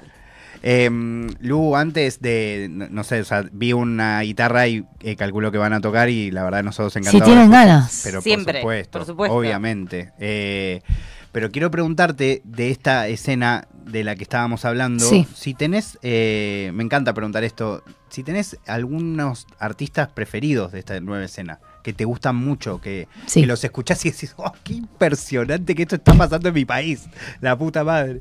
Me O que incluso pasa. que lo conozco, no sé, o por ahí no lo conoces y te gusta igual. Estoy para que hagamos un pimponazo Uy, de me eso. encantaría. Dinami- sale dinámica.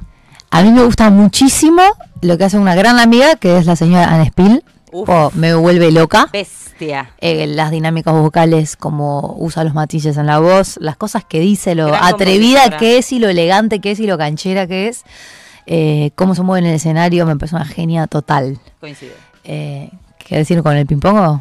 Sí, bueno, iba a decir nafta yo, que estamos ahí. Bueno, Bueno, aledaño. Estamos ahí. Seguimos en el mismo universo. Ahí está. El, sí, el sonido que tienen los pibes, la banda, el equipo entero, cómo se manejan es espectacular. Y cómo encararon el, el género.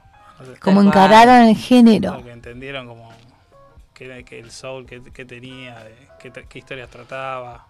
Totalmente.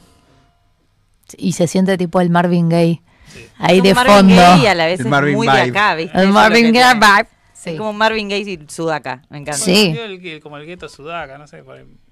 Total.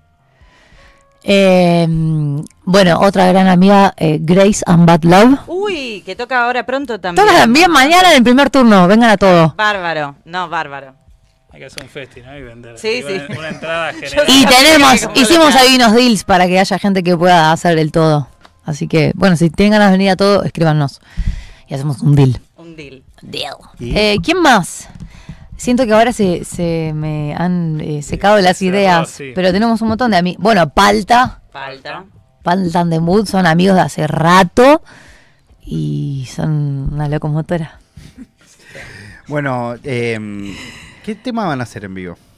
¿Qué te va- ¿Con ¿Quiere- vos? ¿Con vos? Dale, vamos con vos. Así eh, presentamos el disco en otra, otra versión. En otra versión. A Me ver. gusta. Una exclusive.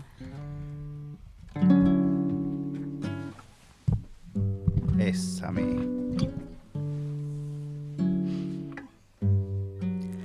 Fumándome esa nube pienso de más Como me enrosco cuando vos no estás.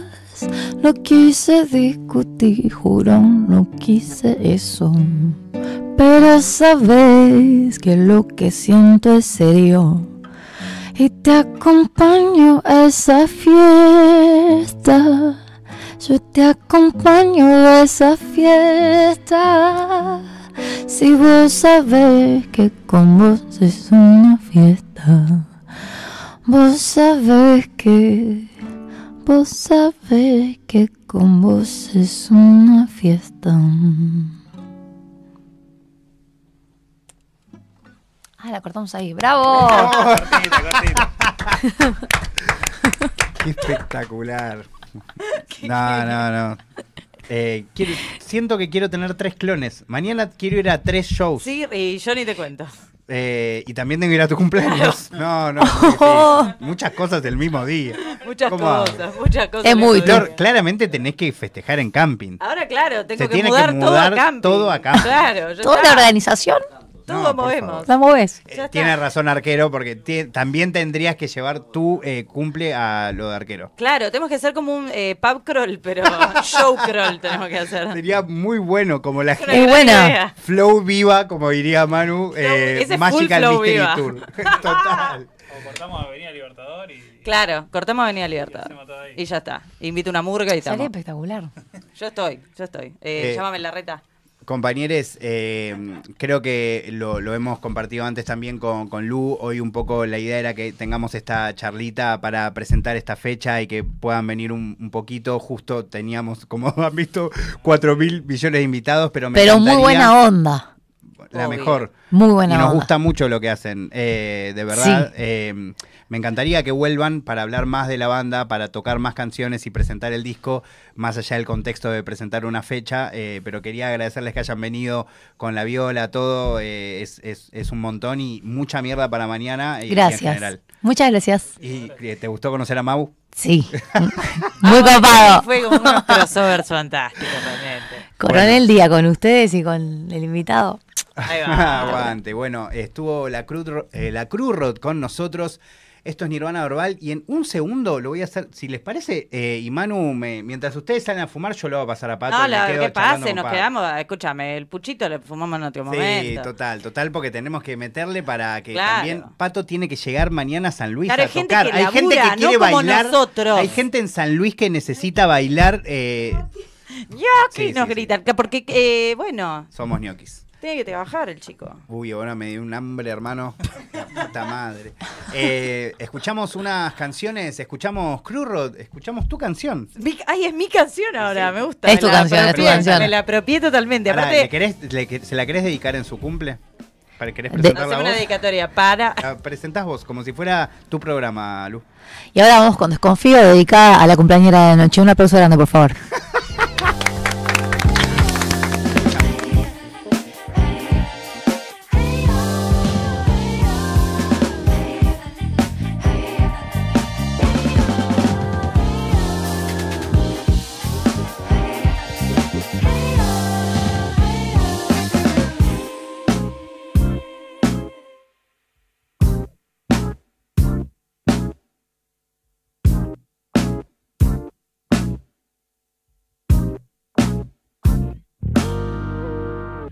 Desconfío de la gente, de sus mañas, de sus mentes.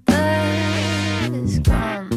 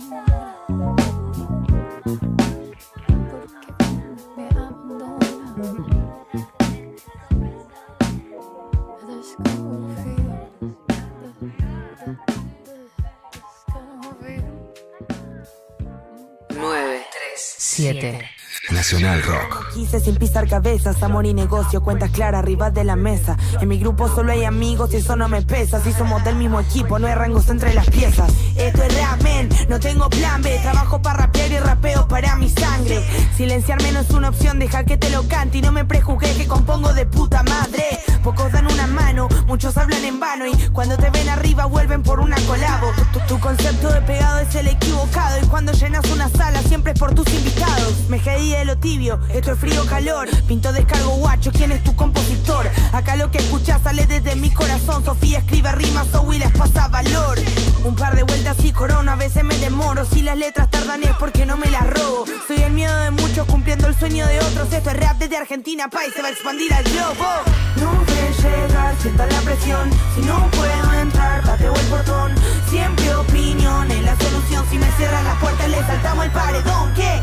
No ves llegar, sientan la presión. Si no puedo entrar, pateo el portón. Siempre opinión es la solución. Si me cierran las puertas, le saltamos el paredón. ¿Ok? Estuve en uno un par de fechas, aún tengo problemas. ¿Hasta dónde llegas tú? Sé que un futuro me espera. No desesperes, palo, tomo el aire y se exaspera. No quiere que pierda tiempo, ahora valora lo de afuera.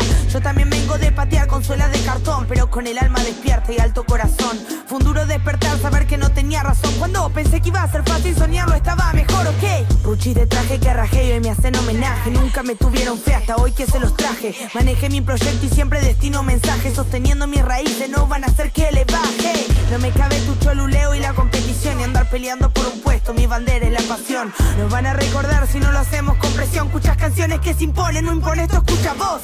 No ven llegar, sientan la presión. Si no puedo entrar, pateo el portón. Siempre opinión es la solución. Si me cierran las puertas, le saltamos el paredón. ¿Qué? No ven llegar, sientan la presión. Si no puedo entrar, pateo el portón. Siempre opinión es la solución. Si me cierran las puertas, le saltamos el paredón. ¿Ok? Viernes, de 21 a 0. Nirvana verbal. En esos lugares donde se te presentifica el vacío, ¿no? Para andar despacio, David. La angustia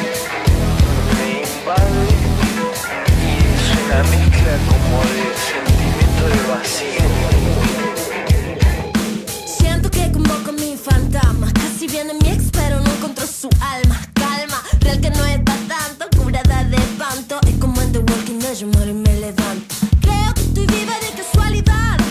Tanto que me pierdo, no puedo encontrar. Hay cosas que no entiendo de esta sociedad. Todo enloqueciendo, gritan dipa. Voces muy crueles, creen que se lucen. Las he hecho, la panza cruje. Lo expliqué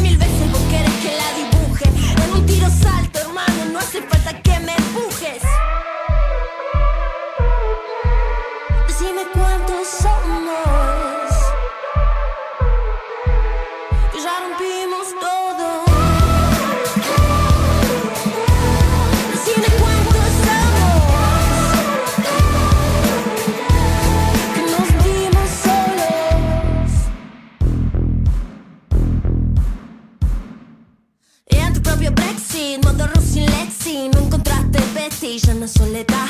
Jugarla de imbécil solo te hace dócil para algún inútil que te usa y se va. Vida solitaria, pero extraordinaria. Ese es el poder del Kamehameha. Gente visionaria, Continuamos en Nirvana Verbal. Hoy realmente la cantidad de personas que nos acompañan es eh, infinita, pero antes de presentar a quien ya he nombrado infinitas veces, que es el compañero arquero y que está tocando mañana también en Niceto, ahí en el lado B, si no me equivoco, quiero presentar a una de las personas con las que más ansias he tenido de compartir una mesa, tengo que decirlo. ¿Cuántas veces hemos hablado? Che, porque lo loco es que en medio de todas esas conversaciones nunca nos vimos. Claro. la No. cantidad de veces que dije, te voy a ir a ver, amigo, voy a ir a bailar tal día, tal, no llegué, tal, no sé qué, te venís a mi programa, no, amigo, justo viajo, no, te- la puta madre, nunca nos vimos. Hoy está acá justo en el programa más, más concurrido de la historia, pero hay que decirlo, él me dijo, un día me escribió, no sabía cuál era el contexto de Nirvana Verbal, me dijo, hermano, el, eh, el viernes posterior a las elecciones voy a charlar, ¿te parece? Y yo qué le dije, Obvio. Sí. ¿qué le voy a decir? Claro. Bienvenido eh, primero a Pato Esminca, hermano, ¿cómo estás? Muchas gracias por haber venido. Gracias por invitarme. Va, en realidad me invité yo Te solo. invitaste vos solo. Ahora que pienso. Gracias sí, sí, por sí. haber dicho que sí. Sí, sí, sí. O sea, finalmente, ¿no? Es verdad que tenemos como una. Somos como amigos de, de correspondencia, se podría Pero decir, ¿no? a la vez, nuestro vínculo inicial fue, o sea, real. Sí, fue, sí, sí, fue, sí. Fue, fue un día que hablamos mucho de Sí, música. Sí, sí, en radio. muchísimo. Pero, Sí, sí. pero después sí, se dio en sí, redes. después de- Quedó sí, claro, pandémico, seguimos. digamos. Quedó No, pandémico. mucho No, antes. mucho Mucho antes. No, no, Ni no. siquiera me acuerdo qué año. Y eh, eh, estaba Fede con eh, Fauna con nosotros. O sea, Ah, claro, hace un montón. no, no, no. Bueno. Está- muchos años. Sí, sí, sí. Muchos años, hermano. Eh, y aprovecho y te presento, no sé si lo conocías, porque también me pareció que este crossover tenía que existir. Estamos robándole el formato a Tomás Rebord. Me parece que es un conclave Sí, esto. esto es un... Perdón. No, porque Pato no vino antes. Ah, claro. Entonces ahí no, es cumplimos. Estamos Así que más- material más- original. Claro, estamos más robándole a Julio Leiva A con un crossover. Leiva. Robar Sí, es sí. el arte, el arte de robar. El arte es robar. Dieguito Arquero con nosotros. ¿Cómo estás, hermano? Muy bien, muy contento, contento por este crossover, no nos conocemos. No, nos conocemos, un gusto. Un gusto, ¿cómo, va? Bien, ¿vos? ¿Sabés que Bien. eh, vos re podrías tocar en un show de él? Ah, mira. Sería espectacular. Él, eh, además de que pasa música, toca percusión muy zarpado y además con pads. Tienes Ah, una mirá, me peculiaridad gusta, me única gusta, en nuestro país. Vengo de esa movida. Me, me gusta ese viaje, me gusta mucho. Bueno, hice este crossover, pero hermano, primero, Pato, quiero un poco dejarte hablar a vos, después voy a focalizarme un poco en Dieguito, pero vos me dijiste, quiero ir a hablar de cosas. Entonces yo te quiero escuchar y que hablemos, además estamos muchos acá que amamos el hip hop o la Sí. música urbana o como Sí, sí, sí. quieras, así que si te parece, eh, hablemos, no sé. Bueno. ¿Qué tenías ganas de, de- de conversar? Y después obviamente te pregunto más particularmente por tu vida. No, eh, Además de que yo haces una columna que amo en el mañana, hay que decirlo. Sí, Ah, gran qué bueno. columna. Gracias. Eh, no, yo vengo, viste, como que. O sea, hice mi carrera más de. Más allá de la parte de, de hacer música, de hacer bailar a la gente y todo eso. Un poco de intentar eh, defender la música bailable, digamos. Antes te Eh, defendí como intelectual de la pista de baile. Claro, es como que. O sea, en realidad, literalmente empezó por algo intelectual. O sea, estudié filosofía, est- me especialicé en filosofía del arte. Y de hecho, empecé. O sea, la primera vez que fui a, una, a un boliche fue de grande, porque era muy nerd el chico. ¿entendés? Era, era típico que le hacían bullying también. Entonces, como que no, no era Acá estamos en el mismo cuadro. Claro, entonces empecé a los 21. O sea, fui, fui como una experiencia antropológica, a ver cómo que era esto de música que interactúa con el cuerpo. ¿Qué es eso? Exactamente, porque le- leía al respecto y dije, che, es interesante esta situación. Genial esto, boludo. Siento Sí, que no sí. lo hizo nadie más así. No, sí, sí, es muy raro. Sí, sí. Entonces empecé de grande. Fui solo, de hecho, ninguno de mis compañeros de filosofía quería ir a- Claro. al boliche, a Niceto, de hecho fue. Eh, y fui solito y estuvo buenísimo. Desde ahí fue como, che, pero acá hay algo. ¿Era un CISEC? Eh, era un CISEC, exacto.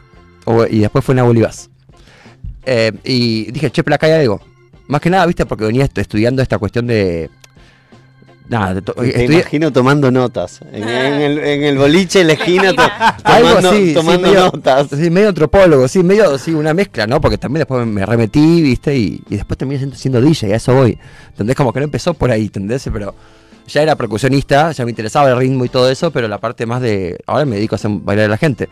Y, y también en parte a. en a contestarle a toda la gente que subestima la, la, la catarsis del baile y, la música bailable en general, ¿no? Que tiene otras otros lenguajes que son distintos a, los, a las músicas que, por ejemplo, donde recaen más en, en la lírica, por ejemplo.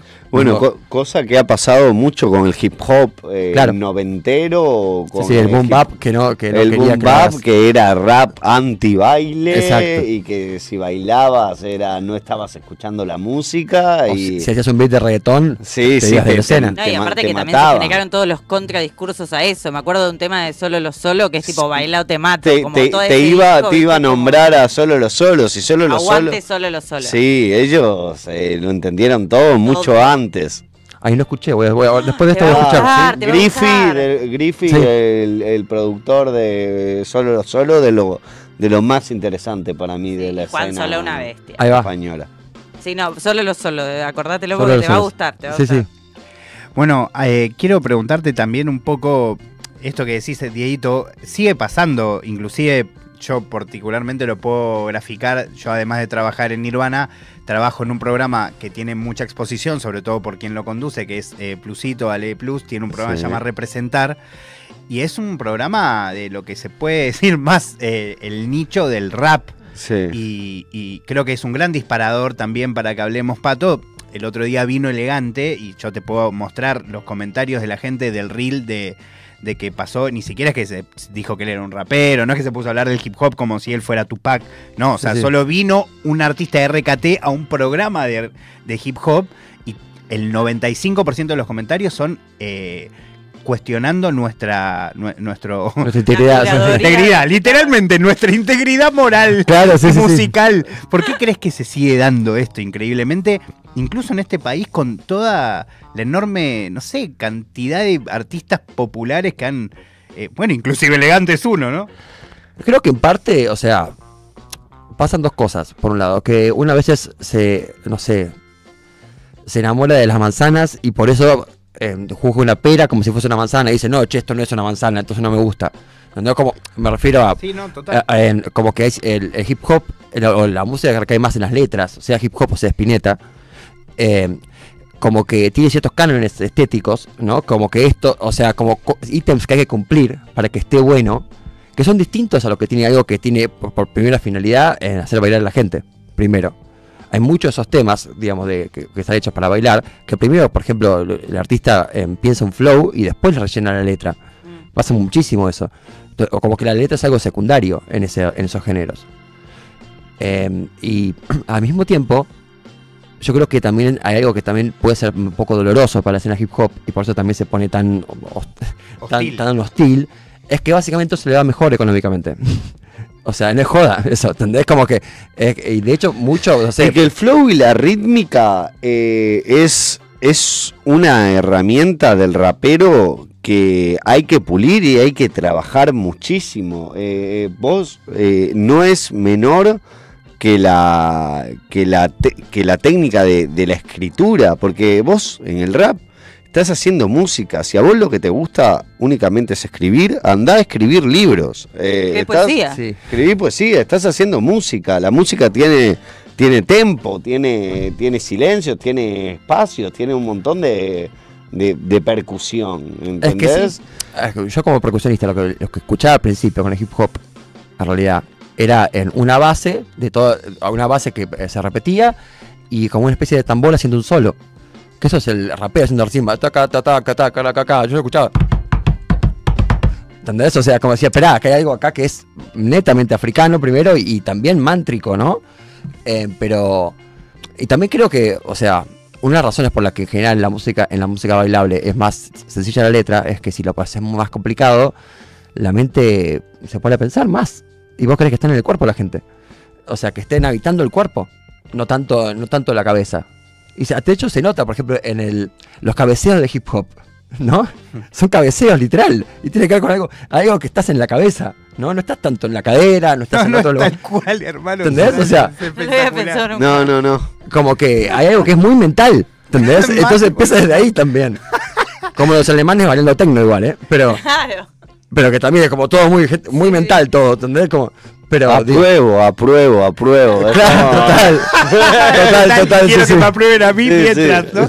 Claro. Voy a intentar cruzar un poco eh, lo que estamos conversando con Pato, también con tu historia, Diego, para que nos cuentes un poco, para quien no, no te conoce, un poco sobre tu historia. Y también me imagino que vos debés haber vivido eso por el hecho de tener eh, distintas nacionalidades, distintos lugares donde pasaste mucho tiempo, distintos gustos musicales, haberte eh, conectado primero con el mundo más indie, después con el mundo más hip hop, después como debes haber tenido siempre esa cosa de no sos tan rapero, no sos tan rockero, no sos tan uruguayo, no sos tan español, ¿no? Como te haber pasado eso muchas veces, pero bueno, contanos un poco también de cómo ves esta Es- situación. soy un extranjero en todas partes. ¿no? soy un extranjero en todas partes. eh, no, no me gusta limitarme artísticamente. Eh, realmente lo que hago bien, eh, lo, lo que puedo decir que hago bien y que no hago de careta, porque la gran mayoría de cosas las hago de atrevido, eh, es rapear. O sea, hace más de 15 años que rapeo. Después me encanta hacer una canción como Cuatro Días, que es una melodía que por cierto se la robé a, a Post Malone, pero eso no. que nada. Yaragua Posma. eh, Este remix post. se la robé a Post Malone y nadie se dio cuenta, la estoy, la estoy diciendo. Es su propio snitcher. Claro, tomá. Tomá, le dieron un tema del año, es una canción robada, chicos. no se dieron cuenta. Eh, y nada, eh, eso, a mí no me gusta encasillarme en nada y creo que eso me ha hecho, eh, me ha dificultado más, eh, ha hecho que a más gente le guste y que le guste a la gente que, que realmente le, le interesa la música, pero me ha apartado de estos grupos que Los nichos. de estos nichos que, ah, eh, vos haces eh, boom bap, no sé qué. Yo tengo ganas de sacar un disco de boom bap y cerrarles el ojete a todo, porque, porque boom bap es lo que más fácil me sale, o sea, es lo que más fácil me sale y precisamente es por eso que no lo estoy haciendo, porque... Porque hace 15 años que rapeo y tengo ganas de hacer otras cosas. Igual es re loco también, que es un poco lo que hablamos. Es re loco que vos te que decir como, no estoy haciendo boom, ¿no? Como, ¿qué- qué- qué- por, qué, tengo que hacer bomba? ¿Me entendés? No, Como, no, Pero bueno. ¿por qué tenés que aclararlo? ¿Entendés? Como, no, yo podría hacer bomba, pero ¿qué Claro, importa? pero ¿entendés? porque hay Como si determinara tu nivel de, de- de rapero, De solo bomba, claro. ¿me entendés? Como- Sí, sí. eh, nada, eh, siempre me gustó otros estilos. Por eso mis colaboraciones son con La Vela Puerca, con El Cuelgue. eh, también he colaborado con raperos eh, eh, locales de, de Montevideo que son mis amigos y que son con la gente, pero dentro de la crew, que yo tengo una crew en la que la mayoría son mm, más cercanos a lo que es, sería rap de nicho, yo soy un popero. Y, y- y me encanta ser un popero y soy un fanático de que para mí una canción, eh, una buena canción, si es buena, tiene que ser eh, buena tocada por un borracho en una esquina con una guitarra con tres cuerdas. Eso, eh, si funciona así la canción, eso es una buena canción. El resto, para mí, son virtuosismos, arreglos que están perfectos que, que estén, pero para mí el alma de la canción es esa. Y, nada, un poco lo que busco es, es eso, es la esencia de pop y de San Andrés Calamaro, que con cuatro acordes lleva haciendo una carrera de 50 años. Sí, y un Twitter. Sí. lo sigo, lo sigo mucho. Ahora, ahora está usando Yeezys y, a- y bancando a Kanye West. Ah, Eh, justo en este momento. justo en este momento, porque es San Andrés Calamaro. Diego, y quiero preguntarte cómo, cómo se siente eh, el hecho de venir a- acá a Buenos Aires, donde también se está desarrollando cada vez más la, cu- la cultura del hip hop o la cultura urbana, como quieras llamarlo, eh, y a la vez también empezar un desarrollo de tu propia carrera en este contexto, ¿no? Eh, yo estoy viniendo acá a probar suerte. eh, siento que el público uruguayo es... eh, primero voy a hablar de los artistas uruguayos y después del público. El los artistas uruguayos son increíbles. Hay un arte espectacular. Hay tre- por levantás una piedra y hay músicos de la gran puta. Nuestro compañero Manu es fanático de Ceballos, por ejemplo. Mirá. Yo ahora soy muy de seguirlo a Kanak porque vino acá y me quedé Ay, me loco. gusta, yo puedo mencionar a ABR, yo soy sacaron una de ABR. A todos nos gusta alguien Somos de la fan de los actualidad y también del A mí me gusta mucho Kanak, sí. Eh, lo escucho bastante. Y el disco que sacaron junto con Ceballos ahora, el EP que sacaron, está buenísimo. Muy bueno. Eh, que, ¿De qué mierda estaba hablando? de los artistas uruguayos. De los, los artistas uruguayos son súper son súper talentosos.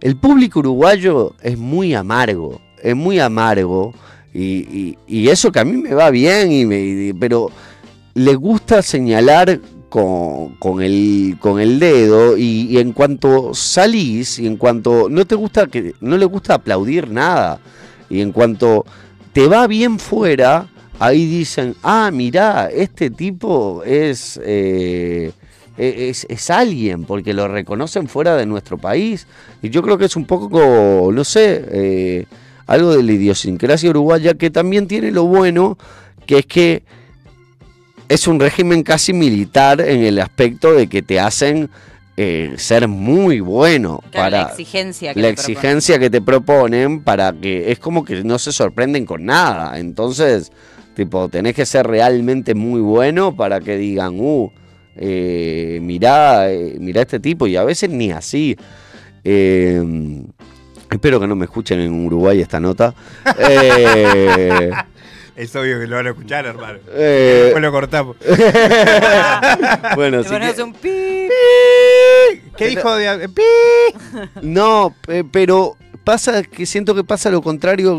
Bueno, eh, pasa lo contrario con Argentina. Yo creo que en Argentina te tiras un pedo y te aplauden. Y, y- y entonces. Espero que no lo escuchen en Argentina. Espero que no, espero que no, no escuchen en Argentina esta nota.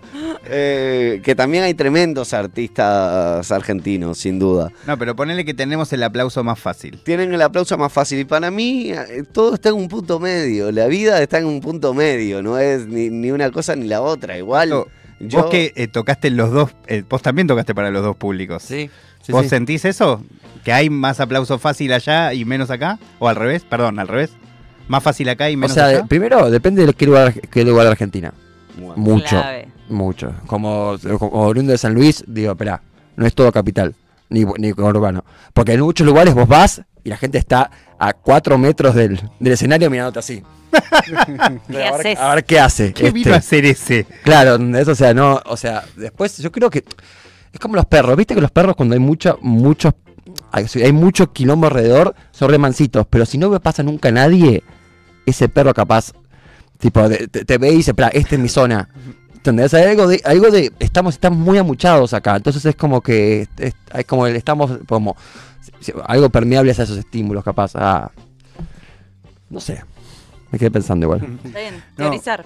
Sí, no, re quiero, o sea, quiero tener 14.000 conversaciones a la vez, pero sí, Pato, quiero profundizar un poco más y después también seguir hablando con Diego, pero un poco de, de- vos estás viendo un lugar de, de la escena de la que se habla mucho, que es el lugar de las fiestas, ¿no? Como que también es un escenario espectacular y que particularmente dentro del hip hop o la música urbana, a nosotros particularmente no nos gusta el término Militamos música urbana. que se deje de- pero, Sí, pero, pero eh, hip hop, ¿qué sería? O sea, y yo El tema- particularmente incluyo rock, muchas cosas que el rock que es música urbana también. No, Claro, sí, aparte verdad. hay cuestiones igual que tienen que ver ya con el origen del término. El origen del La de acá- término. la de acá sí. El origen del que término milonga música no, pero- urbana.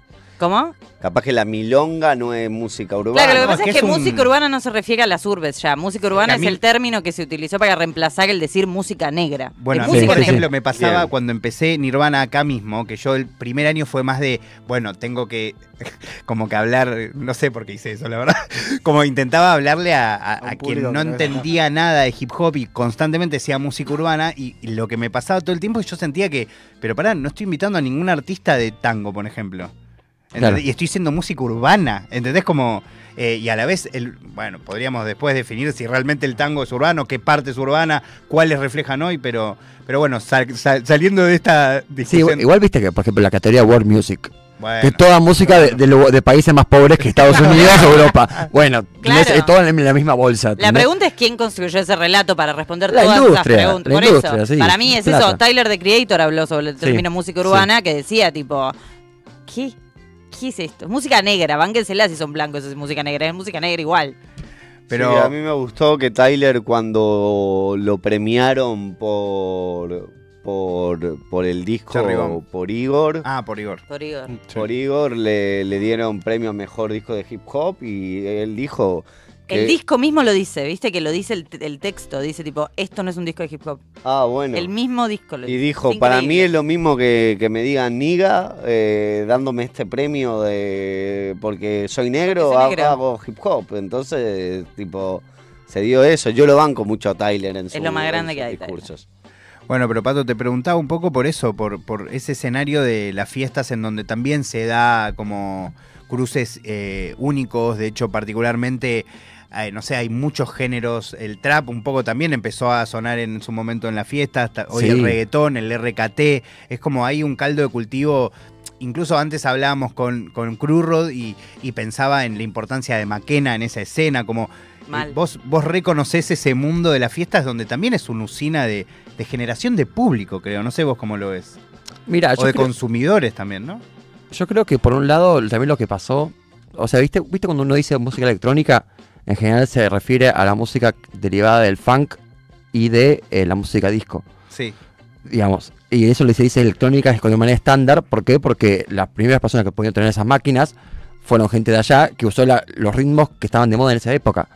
¿Entendés? Entonces, por ejemplo, si hubiese sido, si el, el- el reggaetón hubiese sido ese momento primer mundo, o sea, el lugar donde, se- donde estaba esta clave rítmica, en lugar del tu, pa, tu, pa, la gente le diría electrónica a otra cosa. O la cumbia electrónica. Por ejemplo, si Colombia hubiese sido primer mundo, Claro. ¿Entendés? O sea, que, que eso, eso, lo que ahora llamamos electrónica también tiene que ver con algo muy, muy de una época, ¿no? Eh, entonces creo que lo que está pasando ahora, los últimos 15, 20 años, es que a partir de los softwares y a partir de la piratería, finalmente eh, las, las áreas postergadas del mundo pueden hacer música con esas técnicas bajo sus propios términos. Porque, por ejemplo, no sé, Hernán Cataño. Eh, Hernán Cataño suena afuera, igual, porque acá es que llegaba, eh, o sea, la gente que podía hacer electrónica desde acá eran todos chetos. Entonces, ¿qué hacían música internacional? Porque eh, como que la gente muy de clase alta tiene como una cultura más internacional, no tan local, ¿no? ¿Viste? Con ese Y un poco saborcito local. Sí, eso de- depende, digamos, de- depende, no, no digo que todo el mundo son No, no, cipayos, no, no, pero, pero es como que en general se, se tocan con, con- con sonidos que son más internacionales. Entonces lo que lo interesante de esta época justamente es desde, o sea, desde acá con el RKT, pero también el, el funky carioca, por ejemplo. ¿Entendés? Y esto pasa, en, en, no sé, con el afrobeat también de, de Nigeria y de Ghana. Eh, pasa con el kuduro en Angola. Tipo, todas las áreas postergadas del mundo ahora tienen sus propios, sus propios beats. ¿Entendés? Y en general hay gente que rapea encima.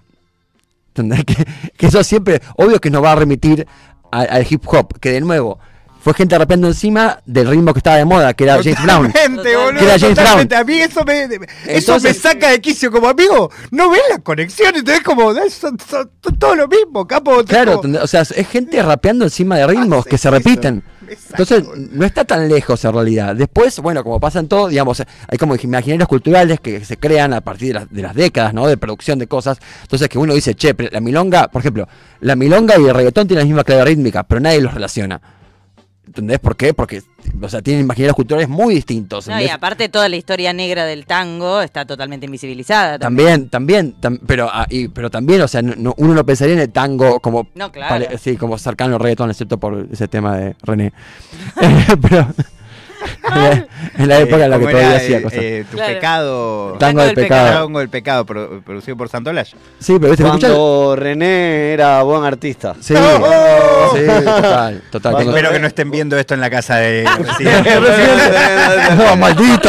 En la, en- en la- en la- en la gran mansión de René, espero que. Mano, ya no, nos pueden, no nos pueden ver en Uruguay, ni en Argentina, ni en la casa de residente. Puerto. Rico por ahora sí, porque no todos van a ganar residente. Cinco minutos. Esperá, dejemos eso, que prosiga la nota. Eh, No, entonces hay un, mont- hay un crisol de, de ritmos nuevos, Con las mismas técnicas que se usaban para hacer hip hop en un momento, o electrónica, o con los 808, 909, todas esas cosas que se usaron, eh, pero ahora con el Fruity Loops craqueado, ¿entendés? Que hace que sea la nueva sea la nueva bandita, ¿no? Es mucho más barato hacer eso que, Que una banda tener una banda, sí, muchísimo más barato. Entonces, obvio que se primero se hizo más, más popular y por otro lado, creo que, por ejemplo, que el reggaetón esté, a- esté donde esté, eh, habla también de eso, ¿no? De que es la punta de un iceberg de algo que fue mucho más accesible. Un, como una especie de conectar igualdad, eh, mucho, pero en la hipérbole. una banda, de- lo que estás diciendo. ¿Entendés? Pero es que realmente. La democratización sí, del sí, acceso sí. a las O herramientas. sea, el RKT tiene todo que ver con el conectar de igualdad. Total. Li- Literal, eso literal, literal con de cuenta igualdad. y todo, de sí, sí, pero, pero no, y no solamente él, No, Alan. Alan Gómez, que después votó Milei, pero en- empezó con una, con una, Está bien, puede votar a quien sea. no, no, obvio, obvio, Ah, vale. obvio. Estamos hablando de música que después votó Milei. Argentina, no lo Sí, sí, me encanta, me Sorry. encanta. Pero que, pero que tiene que ver con, la- estar, con tener las, eh, cos- las piezas para hacer algo accesibles. Total. ¿No? O sea, y entre, entre la computadora y los cracks, porque aparte pasa eso, o vos querés bajarte algo en otro lado del mundo y no podés, acá sí, como que Latinoamérica es como tipo un baldío que no a nadie le importa tipo, para el primer mundo. ¿Y, qué- y qué pasó después de eso? 20 años después, el reggaetón está primero del mundo, eh, Bad Bunny habla en español en Saturday Night Live. ¿Entendés? O sea, hay algo, hay algo que pasó ahí de a poco, O ¿entendés? Complex. Hasta- ¿Cómo? O en Complex, ¿no? Ah, en Complex, Fue claro. a hacer Sí, una sí. entrevista sobre zapas y él habla en español casi toda la entrevista. Claro, ¿entendés? Y eso es un montón. ¿Entendés? Y tiene que ver justamente con cierto acceso, ¿no? A a las técnicas que, que, estaban, que hacían que separara el oído también, ¿no? Porque también hay algo de eso. De que antes estaban más, o sea, perdón, clics modernos de, de Charlie. Tiene, que, Claro. tiene que ver con los que tienen los chiches de allá. ¿Entendés? oh, qué, qué moderno, sí, o sea, estaba allá. Digo, no- sin sacarle mérito a Charlie, ¿no? Pero también, o sea, había, había algo tipo de, de tenerla toda y ponerla en ese momento. Y ahora no. ¿Entendés? Y eso es como que cambió todo, es, es muy interesante. No, no, mal. Diego, ¿con- ¿cuál es la situación, por ejemplo, eh, más vinculada a las fiestas en Uruguay? ¿Hay una movida de baile también Sí. vinculado a, a quizás esto que está compartiendo? Me imagino que es muchas de haber pasado música pato, pero vos cómo, cómo lo ves desde tu estando allá? Eh, no entiendo tu pregunta. O sea, si hay fiestas en Sí, Uruguay. pero fiestas me refiero. eh, eso, si hay. Acá, por ejemplo, lo que hay muy- está muy fuerte la Eso, escena. le- eh, escena más de bailable por ahí. Sí, de- la escena electrónica es muy fuerte eh, en Uruguay. Ah, sí. Sí, es una. eh, hay un boliche que se llama Fonotec que tiene. que los artistas que tocan ahí son artistas realmente muy, muy respetados y. Como incluso de afuera, me imagino, con de, mucha de data afuera, y artistas uruguayos que se están pudiendo ir eh, de gira por Europa, de gira, eso está pasando con la electrónica en Uruguay, que no, no pasa con otros géneros. Eh, después también se están haciendo fiestas, está empezando a ver la Drip, que es una fiesta que se más como hay acá, en las que hay trap, en las que hay funky, en las que hay, cuando hago funky me refiero a funky carioca, ¿no? Sí, sí. Eh, y después, no sé, y después están las típicas fiestas de, de cumbia, ¿viste? Las fiestas de cumbia que, que son las que a mí menos me, me gustan, las eh, personalmente, ¿viste? Que sigue siendo con ese corte más cumbia Iba a preguntar ¿no? si, iba a preguntarlo, pero peor. Ok. Iba a preguntar si seguía vigente la cumbia cheta en Uruguay. Ahora quieren que vuelva la cumbia cheta. Quiere que, sí, por favor que no. Esperemos que ¿Quieren no. que vuelva Tengo la miedo. cumbia cheta? Tengo miedo yo también. Sí, igual Pero vi- aparte se está pará, ¿viste? Yo eh, tengo quieren miedo que vuelva significa que hubo un momento en donde bajaron. yo- Sí, bajó, claro, bajó. claro. Bajó muchísimo. O sea, de hecho yo tengo una teoría, espera, mira, tengo una teoría. Ay, te Tengo amo teoría. teoría. A ver si. Creo si- que- A ver si tenemos eh, la prueba de un uruguayo, ¿no? Como si fuera O sea, este o sea, sí, les cuento, o sea, desde mi posición, o sea, en un momento, desde la clase media estaba mal vista la cumbia, ¿no? Como que, como que te- tu- yo, yo decía cuando era chico, no, yo escucho de todo menos cumbia y cuarteto, porque San Luis también importaba el cuarteto. Mira. Eh, y después eventualmente, ¿entendés? Con todo el proceso, Néstor y todo lo que siguió, digamos, de, la- de asumirse latinoamericano, desde la Claro. Argentina, como diciendo, "No, espera, no somos europeos, basta con eso. Eh, eh, o sea, como que, no sé, el Escano tocó en, en- en- el obelisco, ¿entendés? Un montón de cosas así de reconocimiento a la cumbia como parte de, de un patrimonio argentino, ¿no? A fin de cuentas los Bobancó están, o sea, estaban en los 60 en Argentina. Y no solamente eso, sino que los primeros discos de la historia de, de cumbia se grababan en Argentina. Mira. Porque no había, no había eh, estudios en, en Colombia. Entonces Claro. venían y los grababan acá. Entonces en realidad hay mucha relación entre Argentina y la cumbia. Qué loco. Es parte de su folclore. Y se empieza a aceptar esto en las fiestas, ¿no? Como si la gente empieza a, a bailar cumbia sin tener sin prejuicio y todo eso. Y ahí llega la cumbia cheta. Y ahí, gentrificación. la, a- a- sí, sí, sí, estábamos todos re contentos que finalmente, como poniendo en valor algo, Y llegaron ellos a, a- a hacerse los bonitos justamente y, Y a coberear temas de rock también, ¿te acordás que tenían Sí, toda lo parte de cual- esa secuencia que era como los del fuego son los del fuego? Y después el resto abajo. No, o sea, a mí no me molesta que hagan cover. O sea, a fin de cuentas, los, los mashups de, de, de cumbia con rock y cosas así. Con No, no, el problema es que eran malos. Ese es el problema, claro. Claro, el, el no, problema y es cómo se si no, hacían. amo. Eh, ay, perdí el hilo. ¿Qué iba a decir? Ah, sí, que eso que generó que los, los nenes dejen de, de escuchar cumbia.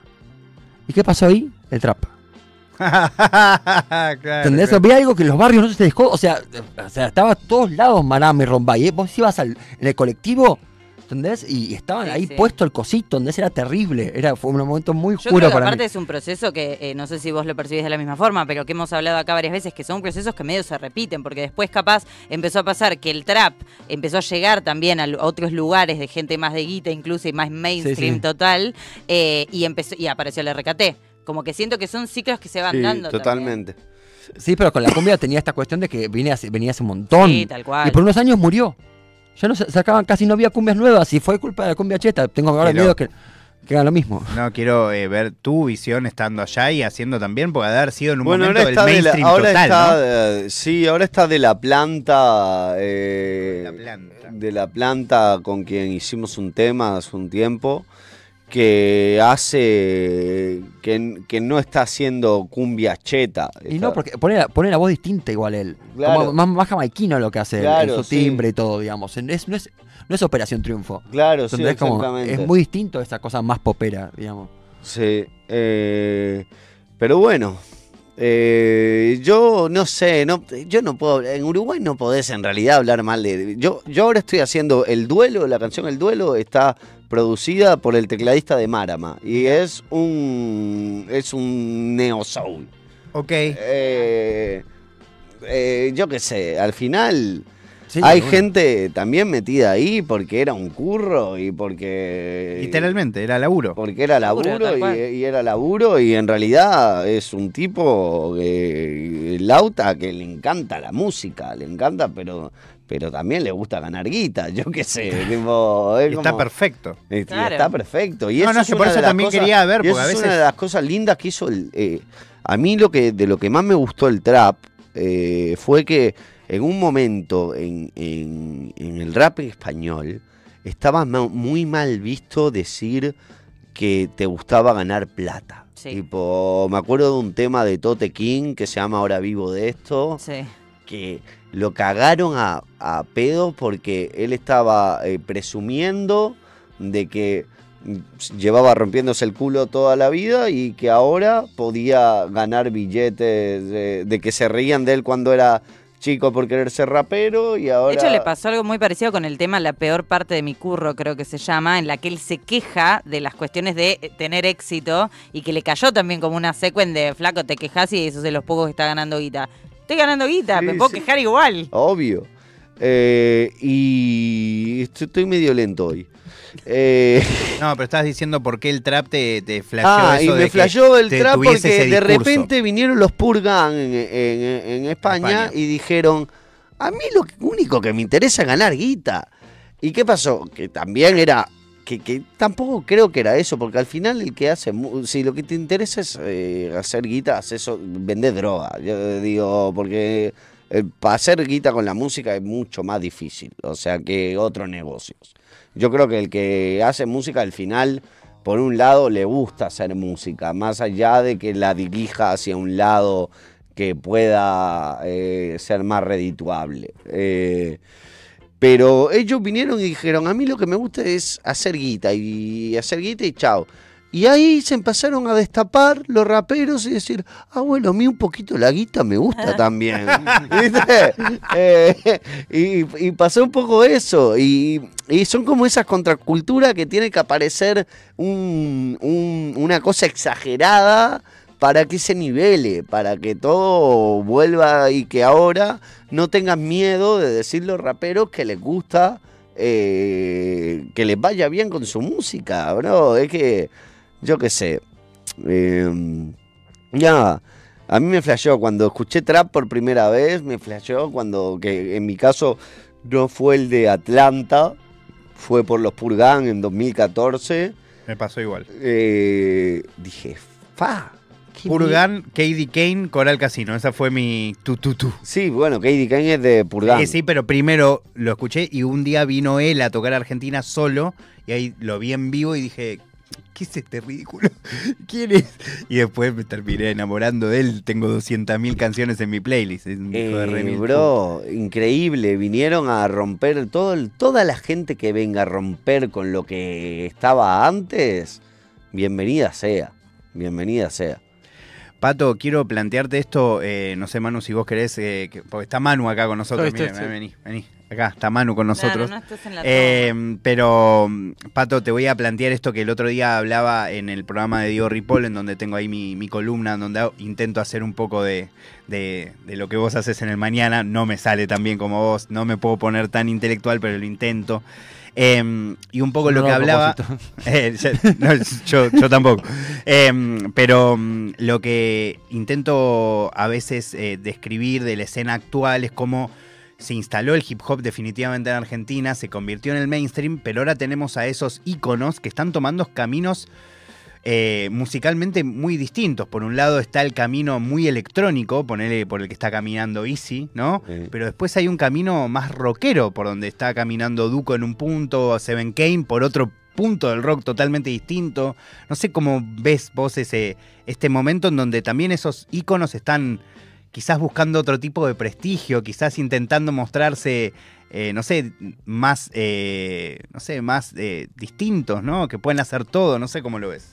Yo creo que por un lado eh, los ritmos cansan eventualmente. De hecho está pasando, o sea, Easy está más electrónico, pero también Tini está más electrónica. Totalmente, sí. Y o antes, Lali. antes tuvo Lali, primero fue Lali. Sí, sí, con Dano. Sí, sí. Y con Mauro de Tomaso estuvieron ahí, Claro, disco. exacto. Pero digo, y- y hay como un momento donde, viste, como que el pop va fagocitando los ritmos que están de moda. Estuvo ahí con el, con el reggaetón, estamos desde despacito, desde antes despacito dándole fuerte. Ese no suelta, ¿eh? El reggaetón parece que... Pero soltó un poquito para mí. O sea, eh, eh, Y bueno, el mayor referente de reggaetón eh, mundial, que es Bad Bunny, hizo un disco de trap. él empezó con el trap igual. Él empezó con el trap Sí. y yo vengo a declarar para que me terminen Atención, de- habla el presidente de todos los uruguayos. para que me terminen de Que no cancelar cancelen en la casa de para Bad Bunny, por favor. no no no no Benito, No, es Bad que Bunny está buscando cancelación uruguaya. no parece. no no estoy buscando nada Bad Bunny es Michael Jackson Bad Bunny es Michael Jackson y eso se lo discuto a quien quiera Explayate, por favor. ¿En es muy bueno. en el sentido de que es el fenómeno más grande que, que ha habido Sí. eh, Sí. y es Michael Jackson y, y ahora y en 10 años van a decir, ah, Bad Bunny, no sé qué, tipo como... y Bad Bunny es lo más grande que hay y el último disco es una poronga. Pero, pero Bad Bunny es lo más grande que hay. El ¿Coincidís? disco de la tapa gaucha. ¿Coincidís, Pato? ¿En, que, en ¿En cuál lo de de las Bad cosas? Bunny? Yo decía que era de John Lennon de reggaetón. Pero aparte, Me ¿sabes qué gusta, igual es Esta guerra de íconos. Sí, sí. Pero, tam- también va- pense- pensemos esto igual. O sea, eh, Daddy Yankee a los 16 años, le, ¿viste? Vieron que iba- él iba a ser beisbolista, ¿no? Sí. Y le pegan un tiro y no es beisbolista. Y estaba ahí en el caserío, donde siempre hizo música para vivir de eso. No había un changüí de decir, che, que es el arte. Mm. No, no, no. Tipo, a ver, esto sale y salimos float. ¿entendés?